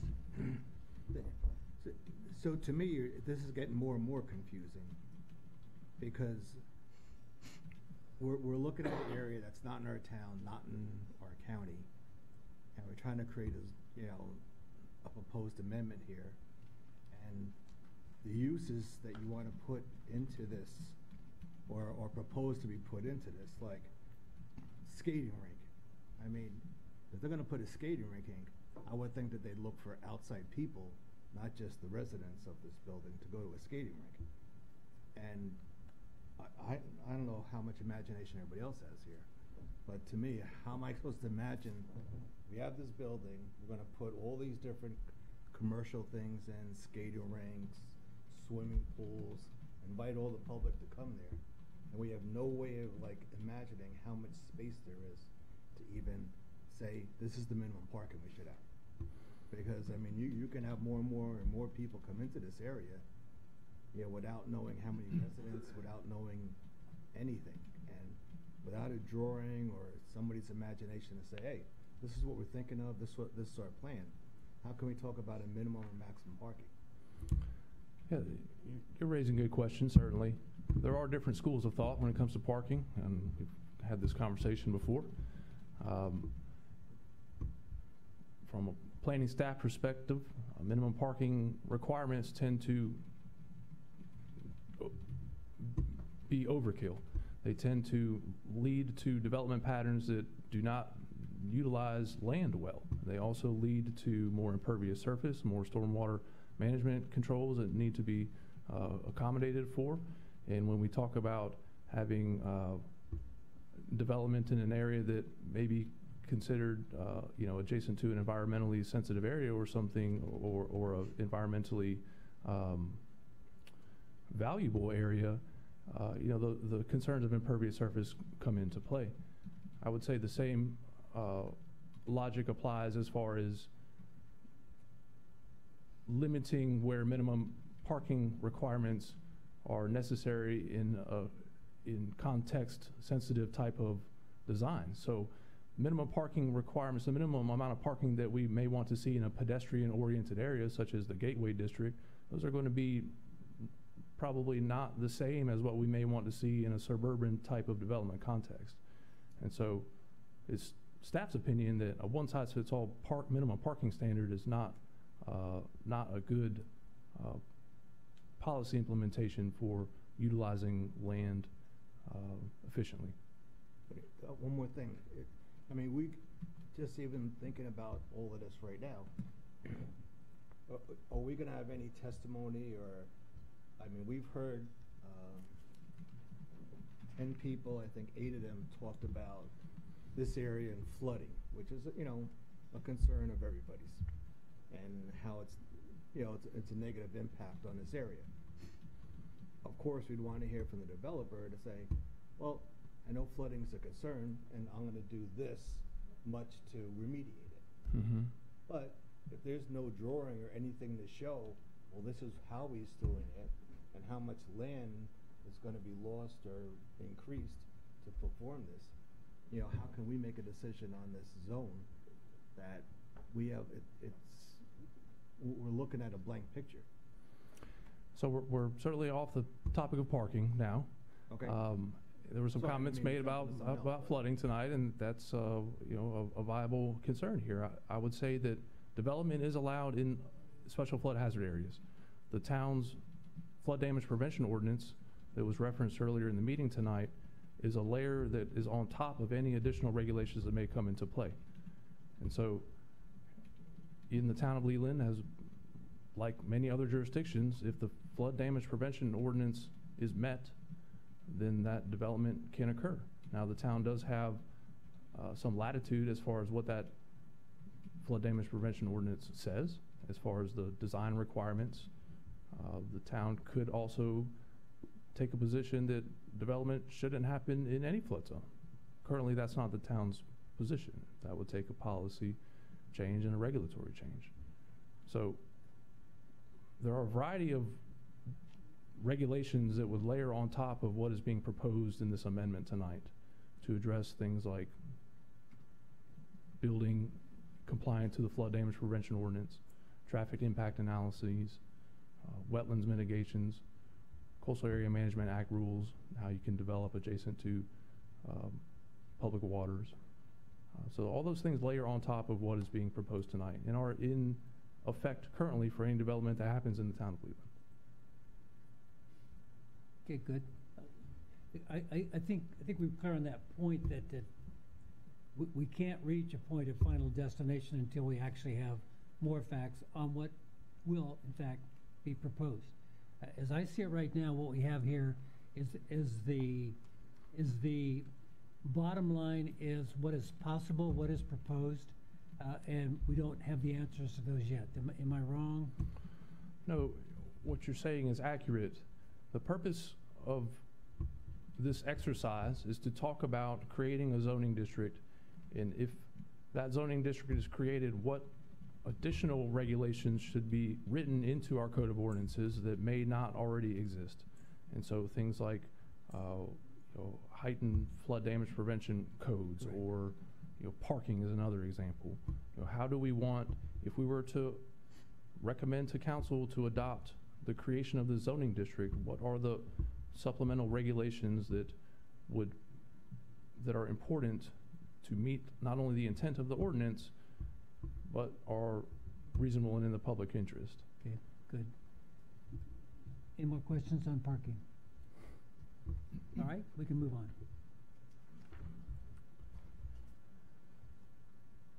I don't intend to read every word on every slide from here on out. No. Uh, I will Thank you. I will have- I've lost my voice by the end of the night, but I hope that you've had an opportunity to read it. I know that not everyone in the room has, so, uh, Can I just say something before we skip over? Question, yes.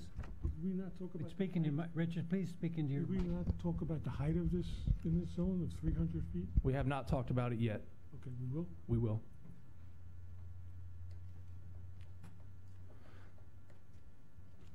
So in this section, we're getting into the actual development standards that would need to be met.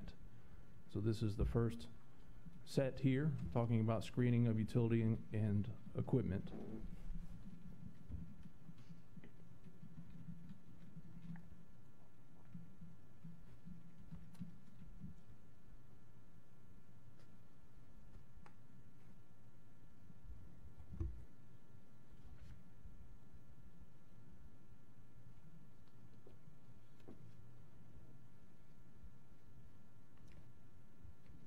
All very standard conditions essentially from any other building complex, correct? They are. I would say that they go a little bit further than A more. uh, our existing regulations in an attempt to require screening for uh, building inside appurtenances that may be deemed obtrusive to And- some. And, and, vi- yeah, visible, um, camouflage and, and to get that. Hey, Sure. good, Thank you. Please, Joe? Then, when we look at this, you know, I understood you say developer sent some of this to the town of Leland. How much more did the planning department add to this? Sure, good question. So I would say not much in this particular section. We did suggest uh, some changes in the areas that talked about uh, stormwater controls and uh, some other features. As we get to them, I'll try to point those out. I don't have a version that shows that red line. Okay, thank you. Move on to site lighting here. This is pretty typical. Uh, Site lighting needs to be limited in intensity and direction so as to not cast light onto adjacent properties. Question on lighting? Good. Subsection three here is talking about parking and driveway requirements. A is saying that the existing requirements would need to be met. B is saying that surface parking lots visible from the public right-of-way would need to be screened. C is saying that parking needs to be accessed via alleyway, alleyways wherever possible. And that would be instead of directly from a street. Okay. D gets into site design, or excuse me, uh, elemental design requirements of any above-grade parking structure. So, uh, fancy name for a parking deck would need to be designed in a way that meets this requirement.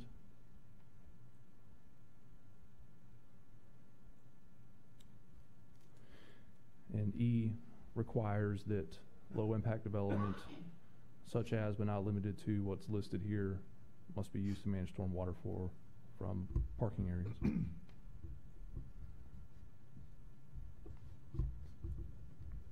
So since we know that there's a high water table there and uh, I guess or site constraints allow, that wording was a little bothersome to me. I mean, what are they gonna do for their stormwater? It's a very high water table. There's flooding there already. So where's the stormwater gonna go? Stormwater requirements would be another existing set of regulations that would need to be met. The town has a stormwater ordinance that is actually more restrictive than the state's requirement. If this amendment was adopted and property was annexed, particularly talking about where this zoning district could go, the town's stormwater regulations would apply and those regulations would need to be met.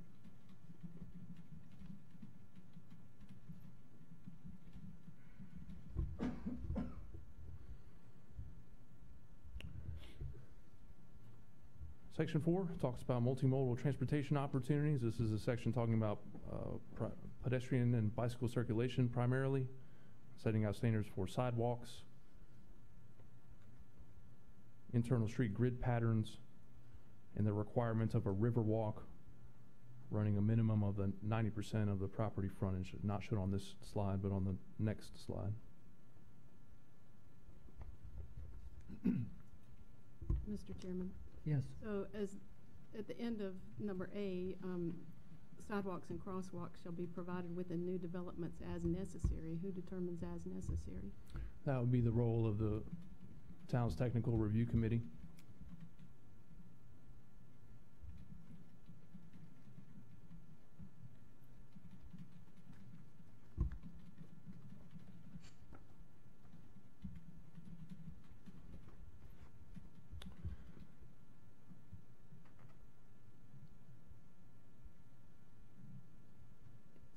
I'll go to DENF on the next slide. This is still under the same section, multimodal transportation opportunities.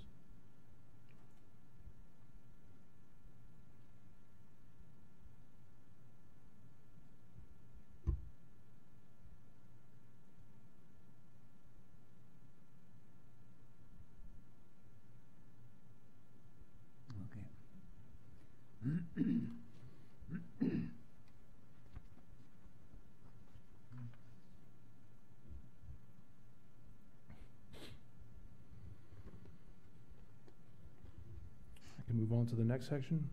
Okay. Subsection five talks about the requirements for street trees. Currently, the only zoning district in which we require street trees is in the Innovation District, in the street yard requirements. So this is a requirement that is uh, different from other zoning districts in, in the town's ordinance.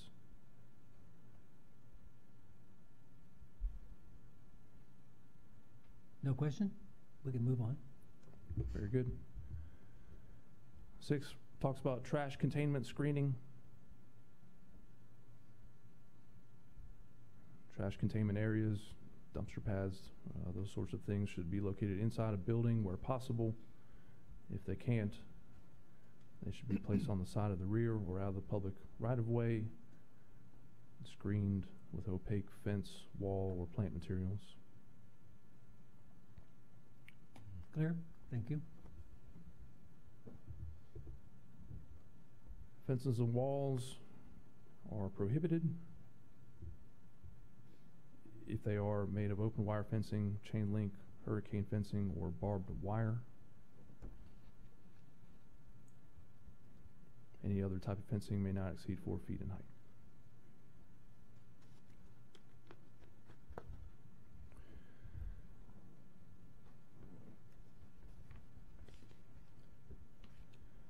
Eight talks about building design elements.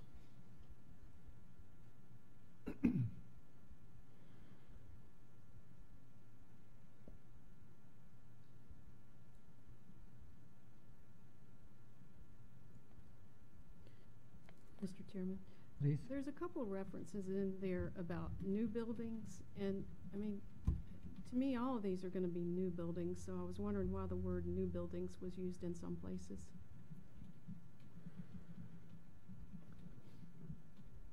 Like for number C. We could strike the word new. If there's some concern that existing buildings would not have to meet this requirement.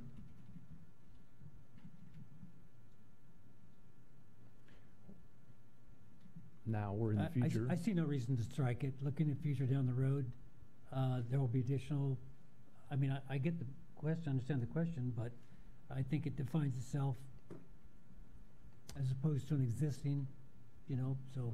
Well, I think. I'm, I'm good either way. I think r- removing the word new could be advantageous because once a building is uh, constructed and has been there for a while, it's not going to be new, so questionably it may not fall Works- under this restriction. It's a simple Works, change. works either way, that's my point, Right. yeah. Well, if repairs have to be done to a building because it was damaged, it's no longer new, so you would wanna maintain the same True. type of That's true. Noted. Understood. It's a simple Mhm. change.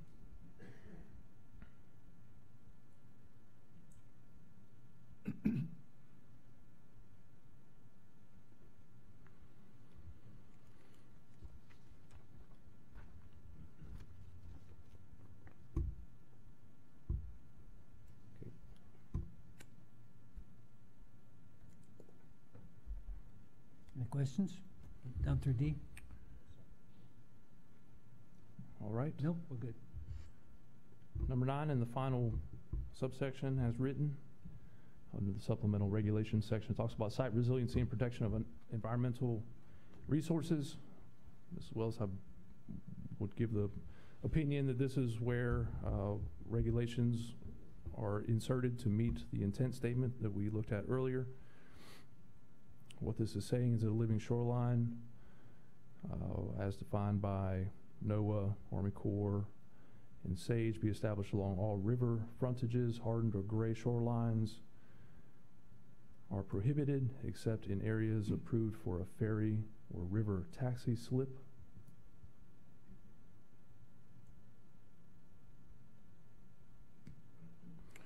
B discusses additional resiliency features shall be identified with each development proposal.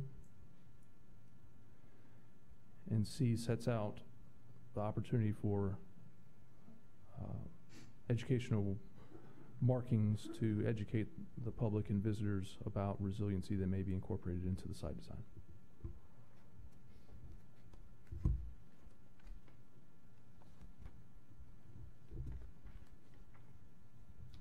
Question, comment? All right? Well, I just think there's still a lot not addressed from the living shoreline standpoint. Putting anything in that area. Um, I think somebody said it earlier well, and something that I had made a note of too. You can engineer things all day long, but it doesn't mean it's the right thing to do. And I guess I really worry about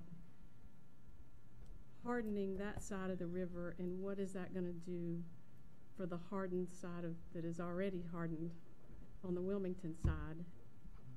What's that gonna do to us? And not knowing the plans for everything, how is the, the, the, we know that sunny day flooding happens right now at the battleship. So when we get to the sunny day flooding and it happening at this new development, where is all that water gonna go? And are people gonna be trapped? And is that gonna make things worse for the battleship? And is that gonna make worse, things worse for downtown Wilmington? So, I don't know, I just feel like we might still be missing some things. We haven't had a lot of time to review this yet. And just thinking about the cumulative impacts of what's gonna be happening in that area. Um, I have some other concerns as I would just point out in regard to the hardened shoreline stabilization, this section would prohibit that except in areas Yeah. approved for a ferry or a river taxi slip. So this section is deliberately saying that uh, you, you can't uh, use hardened shoreline stabilization in, in any area except in, in, with those exceptions. So a river walk area isn't gonna have a bulkhead or anything No. that the river walk sits on, or? As it's written, no, it wouldn't. And I'm also reading, getting a slightly diff- definition as I read, says a living shoreline with coastal reduction best practices, et cetera, recognized by NOAA and, and, and all the others, shall be established along all river frontages. What we don't have here is the specifics on what those best practices are, but I, what I'm taking from this is that those will be determined and followed. Is that what this intent is? So the, the language at the beginning of A talks about uh, whose standards or guidance would need to be followed, and that would be NOAA, Correct. U.S. Army Corps of Engineers, and SAGE.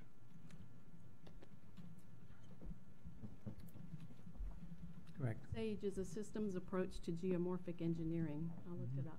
Okay. Thanks.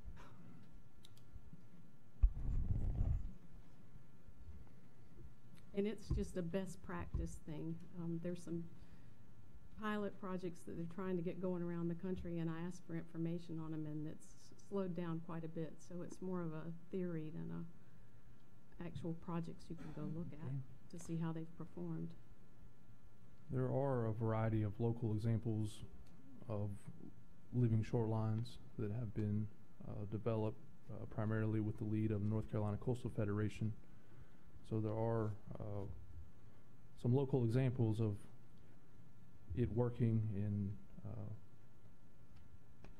in how coastal shoreline stabiliza- stabilization could be done in a way that doesn't include things like riprap or bulkheads.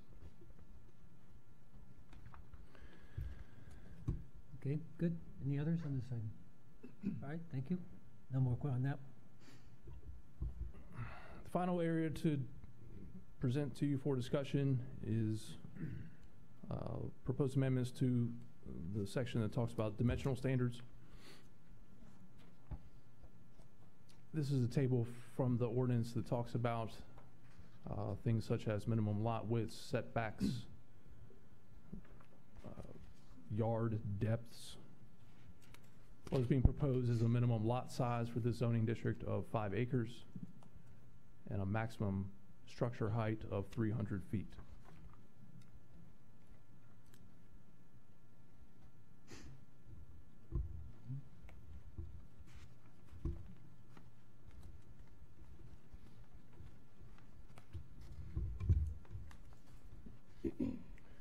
The way that we measure building height in the town is uh, from the adjacent grade to the highest point of the building. There are some exceptions for things like uh, chimneys and other decorative elements that are on the roof of a structure.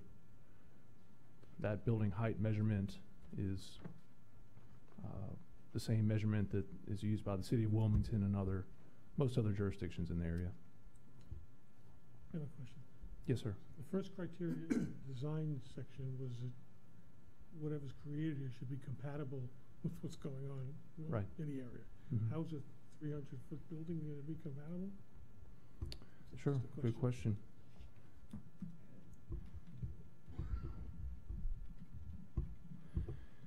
In the city of Wilmington, there are uh, height allowances that vary in what they call the central business district.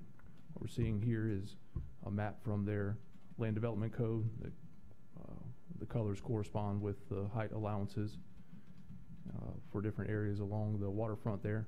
The area in the rectangle shape on the left of the picture there is the approximate area of applicability for the zoning district. City's code also talks about, uh, again, the building height calculation and uh, provides that diagram there.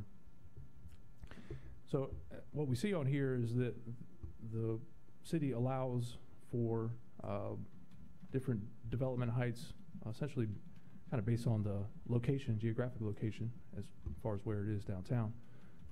What this height allowance map doesn't show is how the grade changes based on the height allowances there. So uh, what we see here are two-foot contours, those wavy lines there. The numbers that we see are the uh, estimated elevations based on those two-foot contours. As the lines are closer together, that means the grade increases.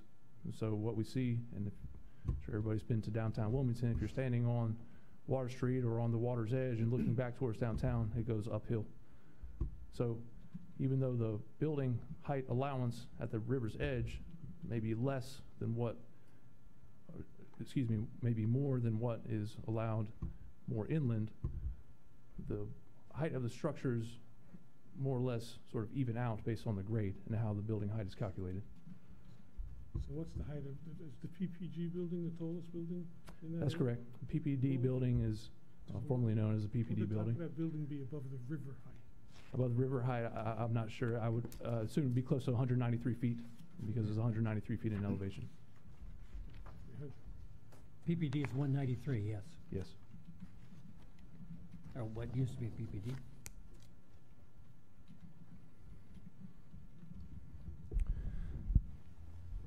So what you're saying that three hundred, But Joe, speak in your mic, please.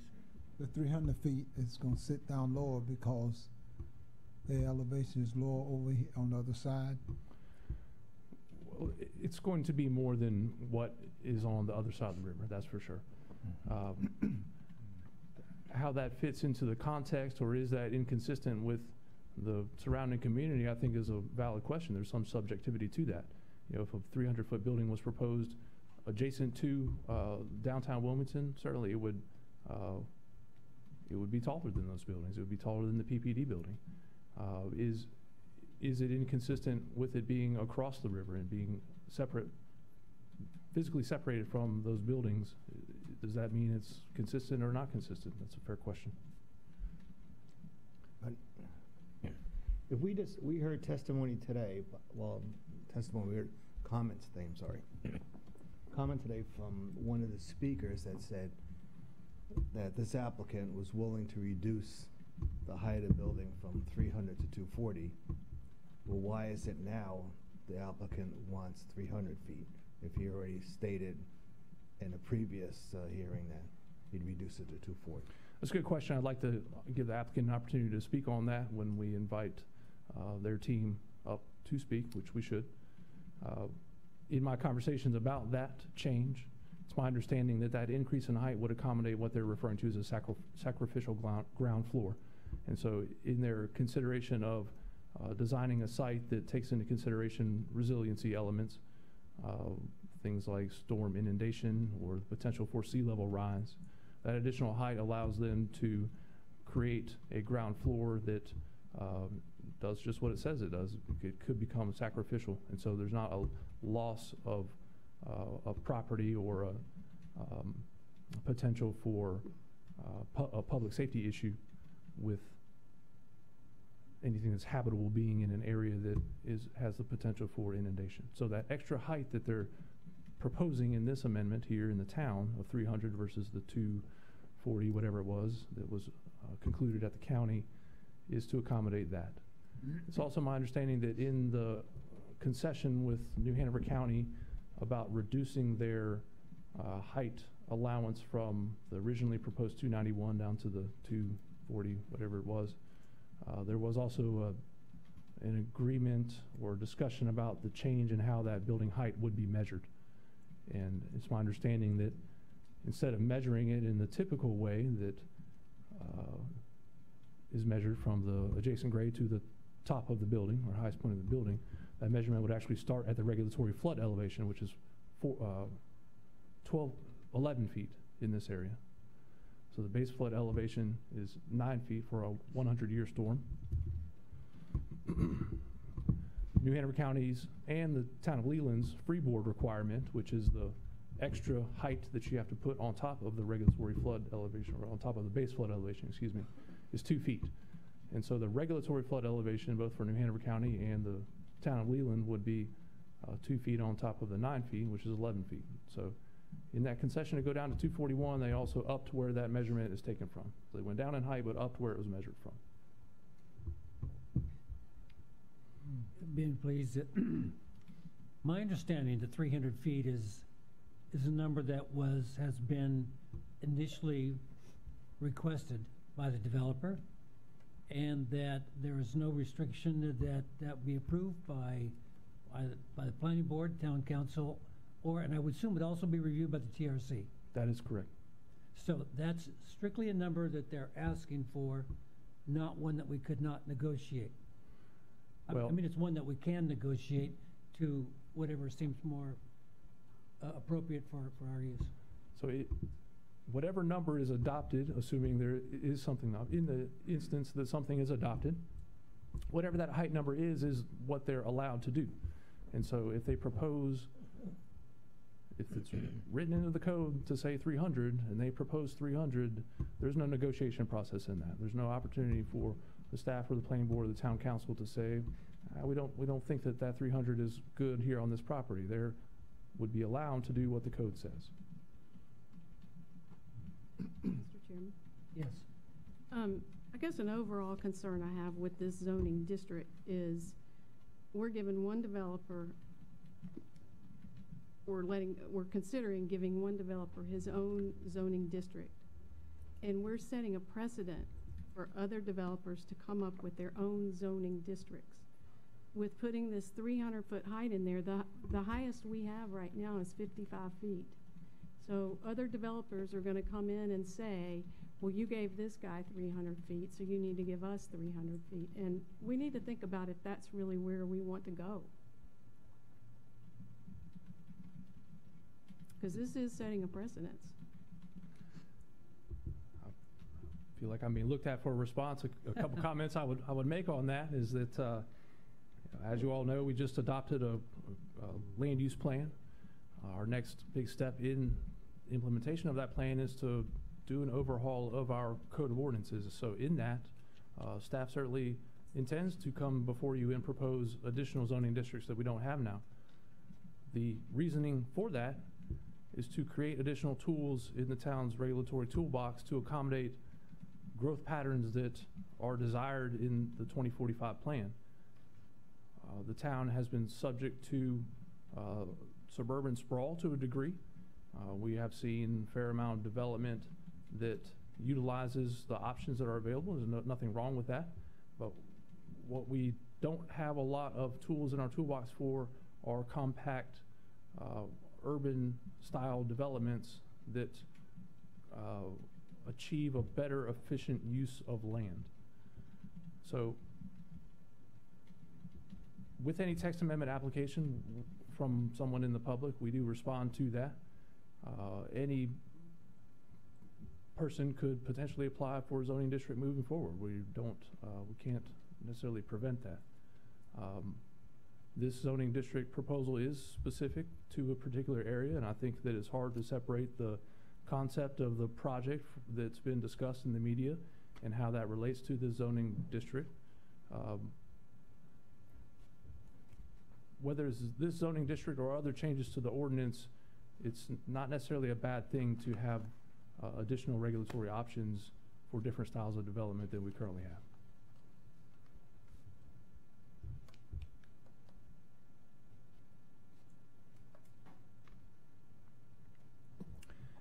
If there's no more questions or comments that you would like to hear from me, I would uh, suggest that we give the applicant an opportunity to come speak and maybe respond to some of the questions that have come up so far that I haven't been able to answer. If Can that's ask- okay? Can I ask one more question? Yes, please. I don't believe there's currently water and sewer over there. I'm sorry? I don't believe there's currently water and sewer over there. It's my understanding that a recent project from the Cape Fear Public Utility Authority does provide the potential for water and sewer service delivery to this area. So there is a project or is a potential project? The project has been completed, to my understanding. The sewer project that, uh, that I'm referencing is the uh, Flemington area project that CFPUA pursued, running sewer to the Flemington area, which had a dual, dual benefit of, of uh, providing utilities, uh, but the potential for utility service in the 421 corridor. And I have another question from a planning standpoint. Um, we, I don't remember this being talked about at all as being an area to grow in, in our twenty forty-five plan. And I looked back at the twenty forty-five plan, and some of the biggest challenges that the, our citizens brought up was traffic congestion and loss of degradation of natural resources and sprawling development and flooding and environmental impacts and providing town services economically.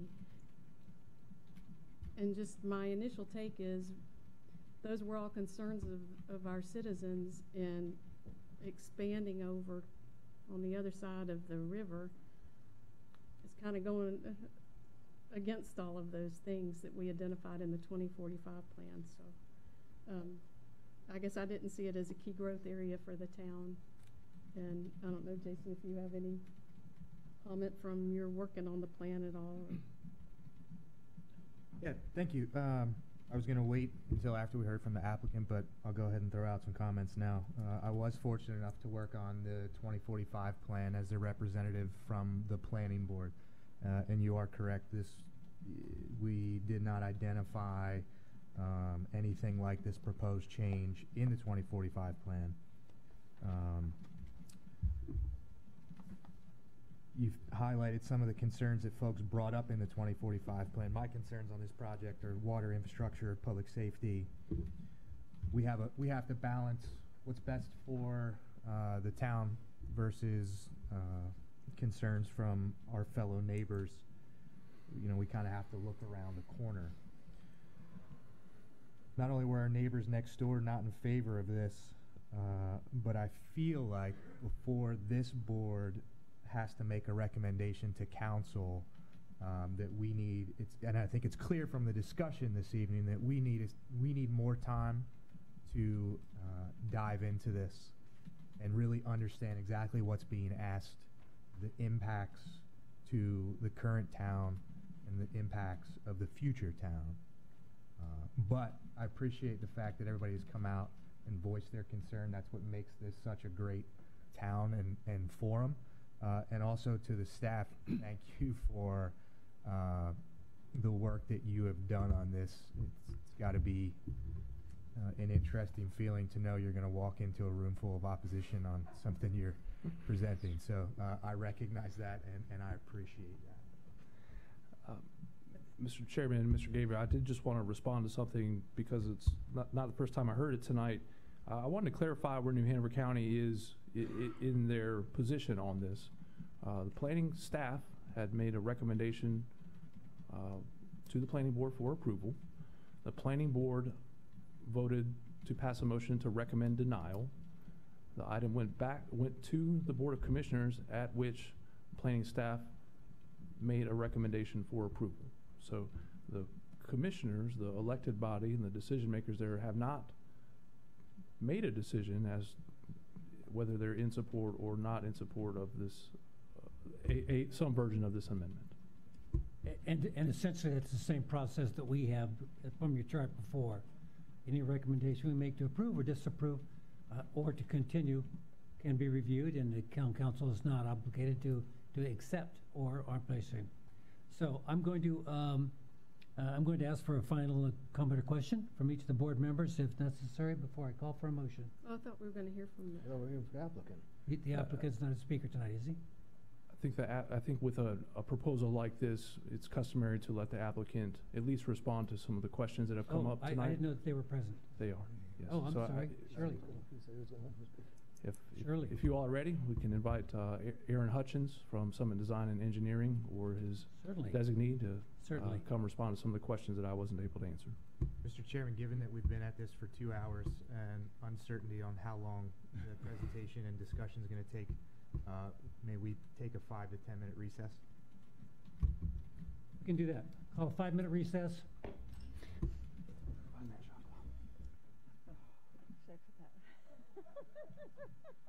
It's more than just sitting with that. I know. We, um, I gotta get the directions.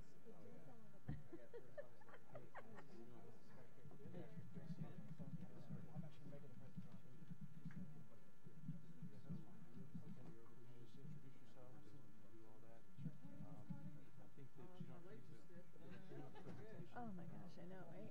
Ugh. Yeah, me too, like, we took out-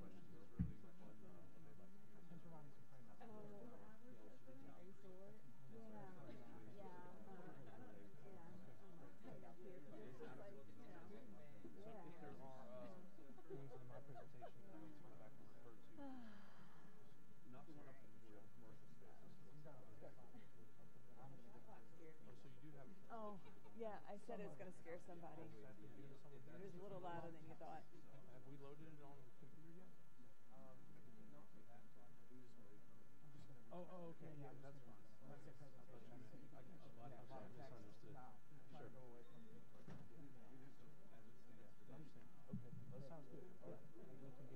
Oh, hey, Ben, yeah.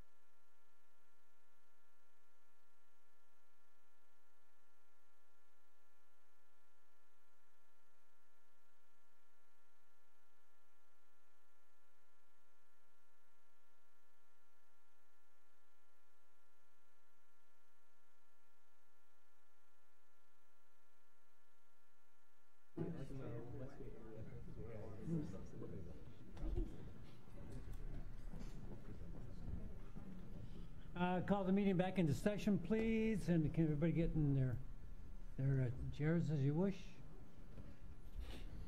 Mr. Chairman, uh, before we hear from the applicant's team, I did want to clarify, I may have misspoken, I just, I I didn't mean to, but regarding the New Hanover County uh, positions that I talked about a little bit earlier, so the planning staff has consistently recommended approval of this. The planning board recommended denial. So if I didn't say that earlier, that's what I meant to say, and that's Okay. what has happened.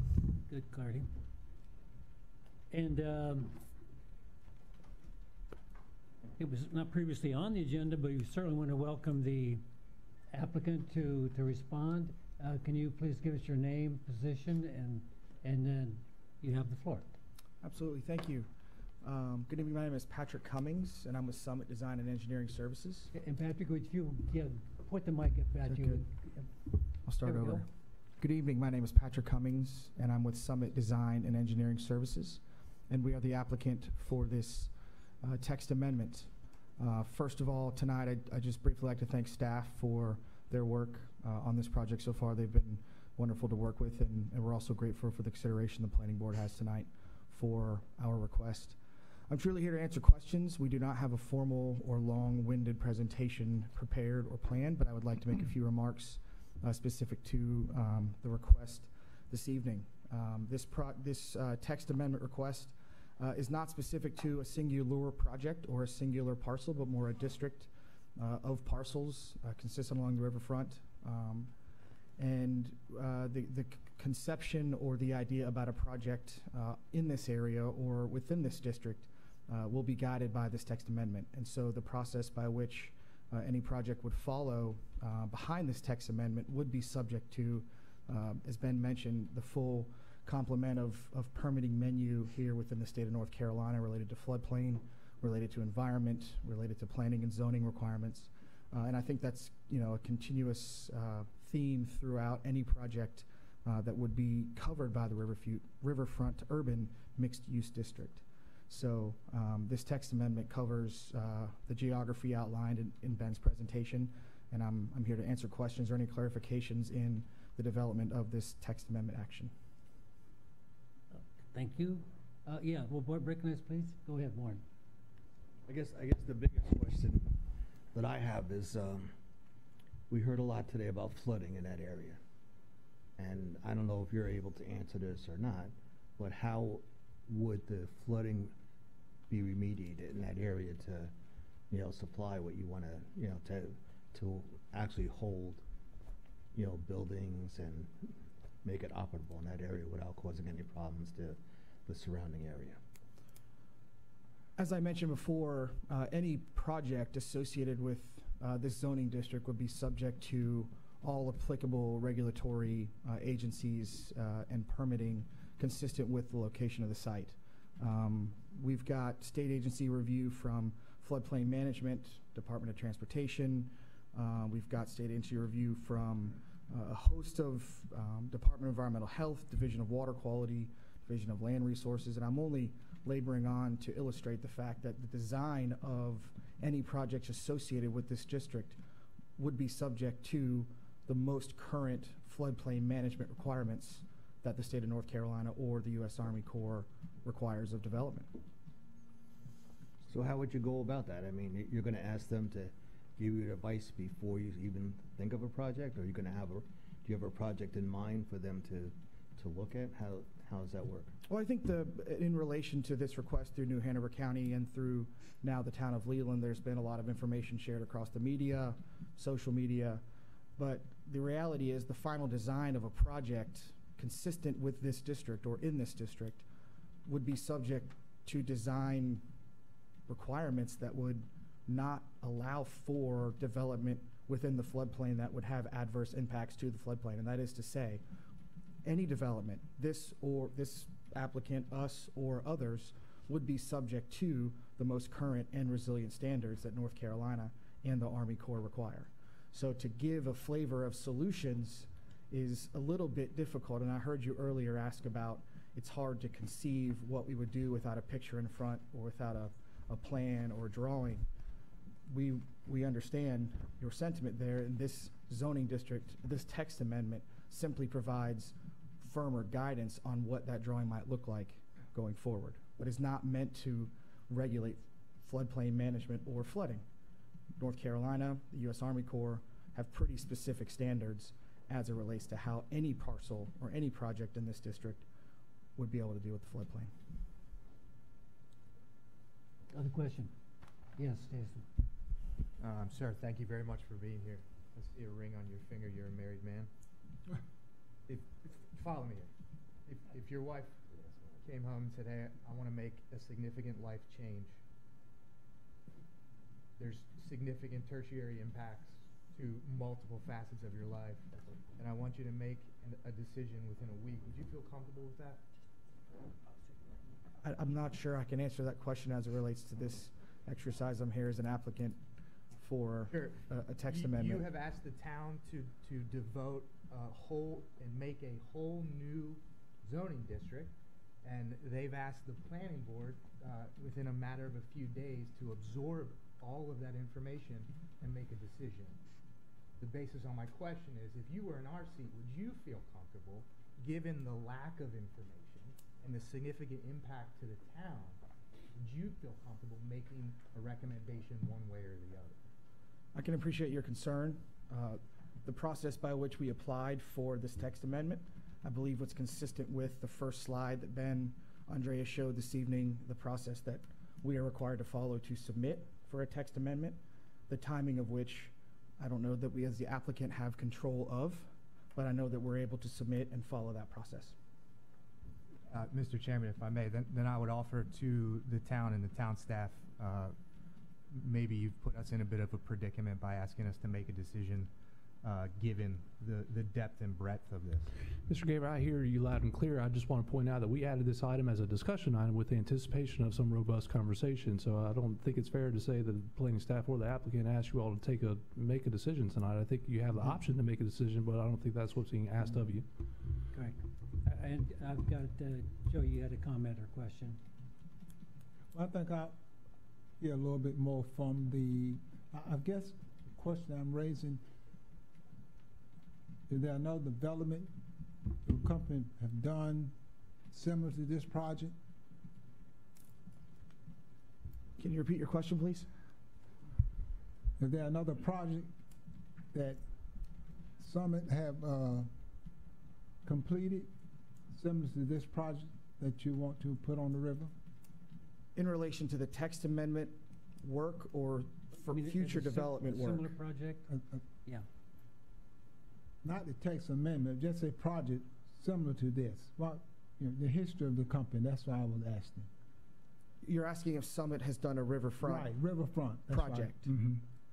Uh, I'm, I'm not sure how to define applicability of a riverfront project. Summit has done projects consistent with the density and Okay. complexity of projects like this, but to say we've done a project in this area, there's not a district there to do that work, so. Okay, all right. No, that's sir. I- I- So you've created this text amendment proposal based on a specific project that somebody wants to develop on that piece of property without telling us what the project is. I ju- just don't know how to do that. I don't know how to absorb that. Any other comments or questions? Well- If, if not, I, as the chair, I'm going to Mr. move that, Mr. Chairman, yes, I'm sorry. I, I- one statement. You know, sitting here, I, I, I went and looked at the property. I was down there six months ago looking at the property from a historic perspective. We're doing some research. Uh, you know, I heard a lot of comments about the flooding. I heard a lot, you know, uh, the building gonna be too tall, uh, this, that. This eyesore to start with. It's a junk pile. Nobody, nobody's saying you want to hold on to the property to make it a nice park. Nobody. Developer come. So I looked around Leland. Where could we put another project in Leland? You asked a question on. So you got question the 2045 plan. We do have property on the Brunswick River. Why would developer wanna come and put that type of project on the Brunswick River? Are we so concerned about the developer of it, or are we concerned about, you know, the, that- that we don't want nothing there? Those are questions that run through my mind. Sitting here tonight, the property is a junk pile. Nobody's doing anything about it. Not the Sierra Club, uh, you know, the water management, this preservation group. If it's a brownfield, nobody trying to get money to clean it up. Nobody. And that, that, that's what really bothers me. If the concern about that, why are we not fighting to clean it up? Start. Well, we're talking about contamination. It's a brownfield. It's a junk pile. It's heavy equipment over there. It's tired. All that's going in the river as we sit here tonight. Mm-hmm. Are they talking about cleaning it up? So I think we need to put all that in the package, you know, to look at versus saying, well, we don't want that. Well, we shouldn't want the junk pile. Good point. All I have to say. Good point. Very At- good. At Very this good. time, it's, at this time, it's, it's clear to me, and I think to the other members of the board, uh, that clearly there's a l- lot of good, lot of good questions have been asked. There are many, there are many questions to be answered, and at this point in time, I feel, with the amount of time we've had to study this, that this board is not prepared to, to make an approval or a denial, and therefore I will move to continue this item to the March twenty-second, twenty twenty-two Planning Board meeting. I'll second it. Moved in second. All in favor? Aye. Opposed? Same sign. The Thank you for your proposal has time. been continued. Thank you.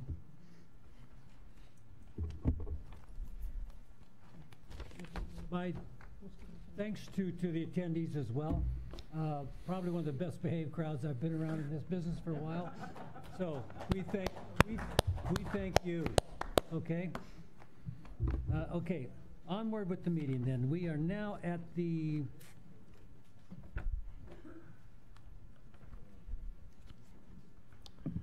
Old and the new old- business. Old business, I believe. That's correct, Mr. Chairman. In the, uh, as the meeting has been going on tonight, we were made aware that the uh, applicant for item eight uh, wasn't in, was in attendance but was not uh, given the opportunity to speak about that item. As you may recall, uh, this was the first action item that you all talked about. You all uh, did not pass any motion to approve or not approve this subdivision plat. Uh, I think it's prudent to let, give the applicant an opportunity to speak in regards to that connection that was in question uh, earlier in the meeting. I, I would agree, and since the meeting is still in session, that can be resurfaced, uh, and we can hear from that applicant and then render another decision if we decide to. Make a motion. Please. I'll make the motion to, we, we, uh, bring that, app- um, application number memo, was it twenty-two zero zero five oh? Correct. Back up to, for, continue it. Motion made. I will second that. All in favor? Opposed? Passes. And once again, I'll have to ask, is there anybody with conflict of interest on there, there was none prior or association? If not, good. Uh, then, Mr. Andre, the floor is yours, sir. I just want to make sure I understood the motion correctly. The motion was to reconsider, to That talk, discuss this item again tonight, is now? Now Yeah, considered okay. an old business and can be reconsidered, yes. Very good.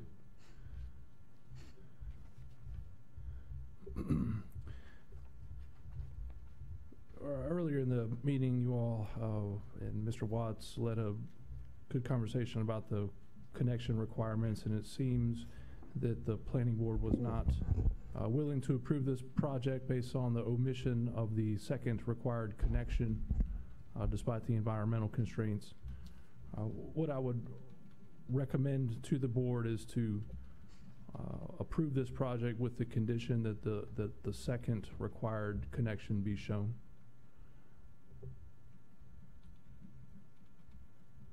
We could have the applicant speak on this? Uh, Or- If if that's okay with Y- uh, Yes, Ms. ab- Chair and the board, absolutely. sure. Uh, I think, uh, absolutely, we can. We meet again. Welcome.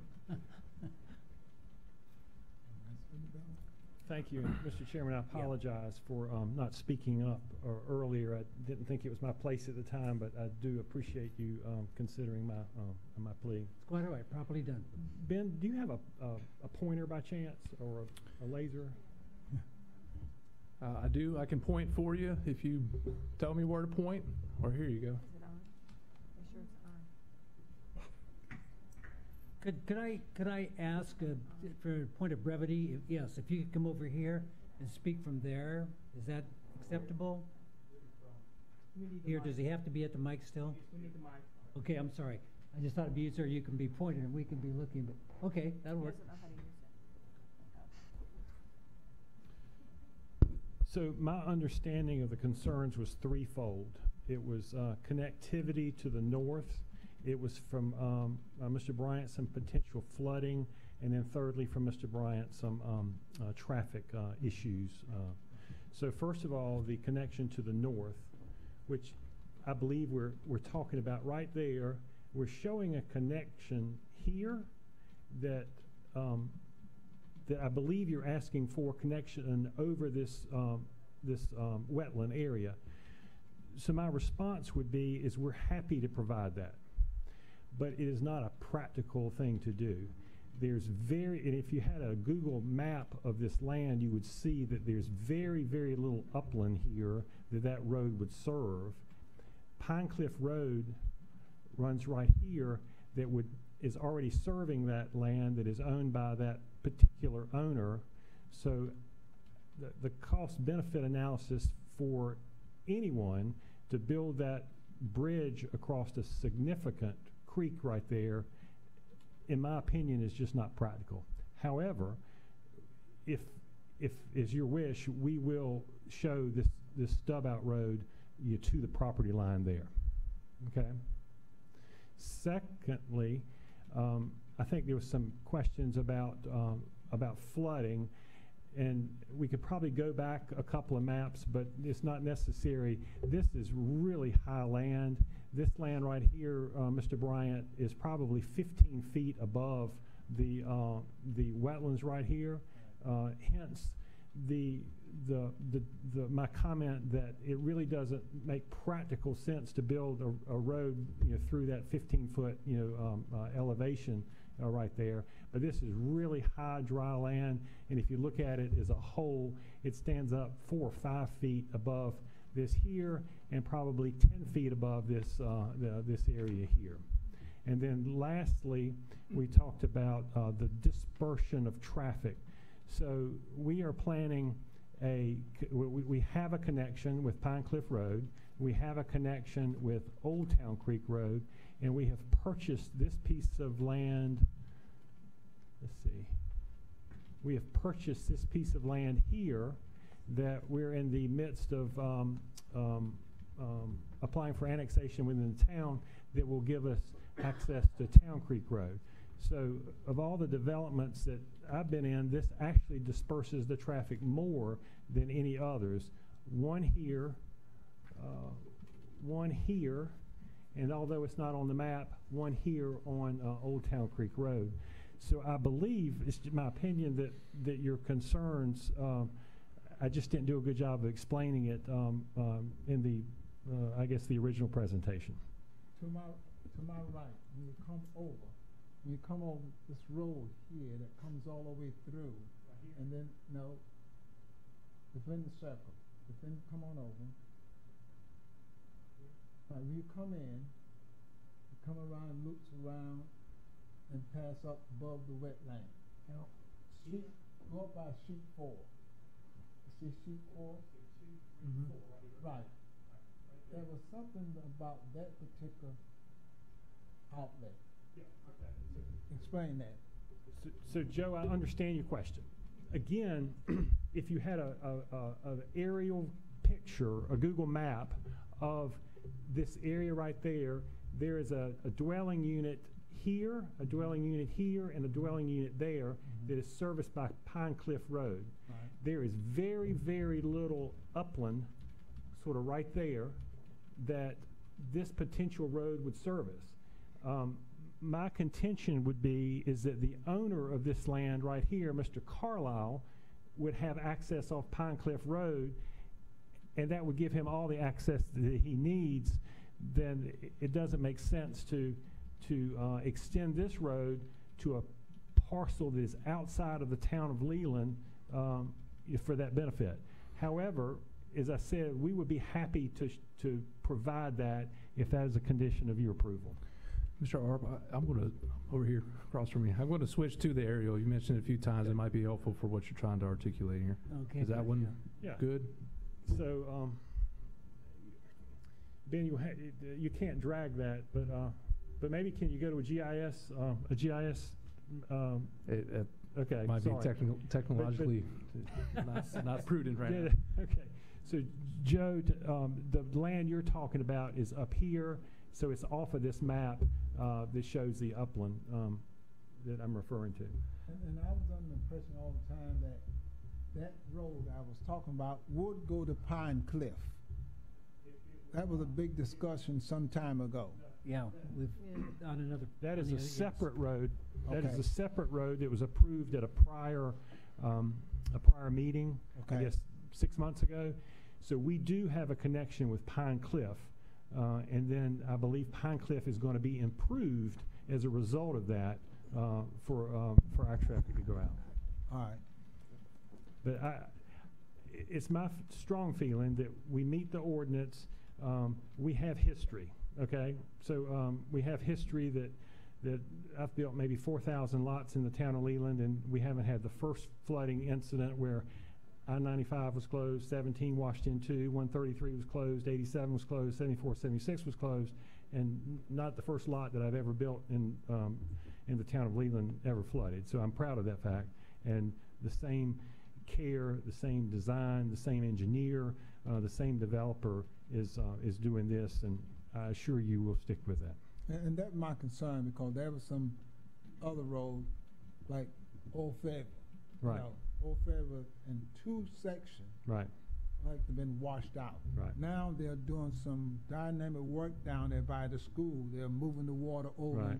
and a catch box, and that's, that's gonna be great. But my concern that, you know, if we don't fix that shoulder, they're gonna wash out again. right. Well, my, my history, uh, and our engineer has, has been with me from my early days of developing. We do not pinch cost on storm drain, and we don't pinch cost on, uh, road elevation. And as a result, and you've seen my work, and you've, you've, you've all seen my work, we do not have flooding issues. So I would respectfully ask if you could reconsider your, uh, your, um, your motion tonight. Comments, questions? Mr. Chairman, my concern was addressed, uh, given the information that was provided by the applicant that they have purchased an additional piece of land and there will be an ingress egress Yeah. point. Uh, I feel much more comfortable. As, uh, as do I, thank you, yes. Mr. Chairman, I do as well. Well, we all, I- I, I believe you, do- I believe you have, a- have addressed our concern. Uh, we, we, we know you, we trust you, but proof is better than the pudding, okay? And that was our concern, with the ingress and egress. And, uh, it's our responsibility to make a decision based on what is, not always on what we would like or what we hear. So, with that, um, no more questions, discussion? Any more comments from the staff, uh, Mr. Andrea? No, no, thank you. In that, I will entertain, yep. I'll make the motion to approve it, based on what I read before. You gonna Gotta read it again? Yeah, just do it quickly. Uh, Y- That's, that's Twice good in enough for one this, day? these types of motions. Can we- can we Motion do to that? approve, Just sure. that- Yeah, okay, as good. presented. Yep. Okay, a Just bring it motion's on the been made to, to approve, and Second? there's a second. All in favor, say aye. Aye. Opposed, same sign. Okay. We- It's, a motion is approved. All right, Thank you. very. Uh, Staff doesn't have any more old or new business. Thank you, thank you. Uh, And in, in the interest of time, I'm going to skip on the report updates tonight unless you all have any questions for me. You have anything new? You have anything new for us? Come on, come on, give us something. Uh, Every day is a new, a new journey in the town of Leland, that's for sure. Yeehaw. So uh, th- thank you all for your, your patience and your time tonight. Uh, We do appreciate you do a a hard and difficult job up there, and uh, we appreciate it. Thank you. Very good. The next meeting will be March 22, uh, as we we postponed to that on the Mux, we'll be prepared again, and uh, hopefully we'll have time to do our homework. Uh, With, with that, I'll take a motion to adjourn. I'll make the motion. Okay. Move in second adjourn, all in favor? Aye. We're adjourned. Check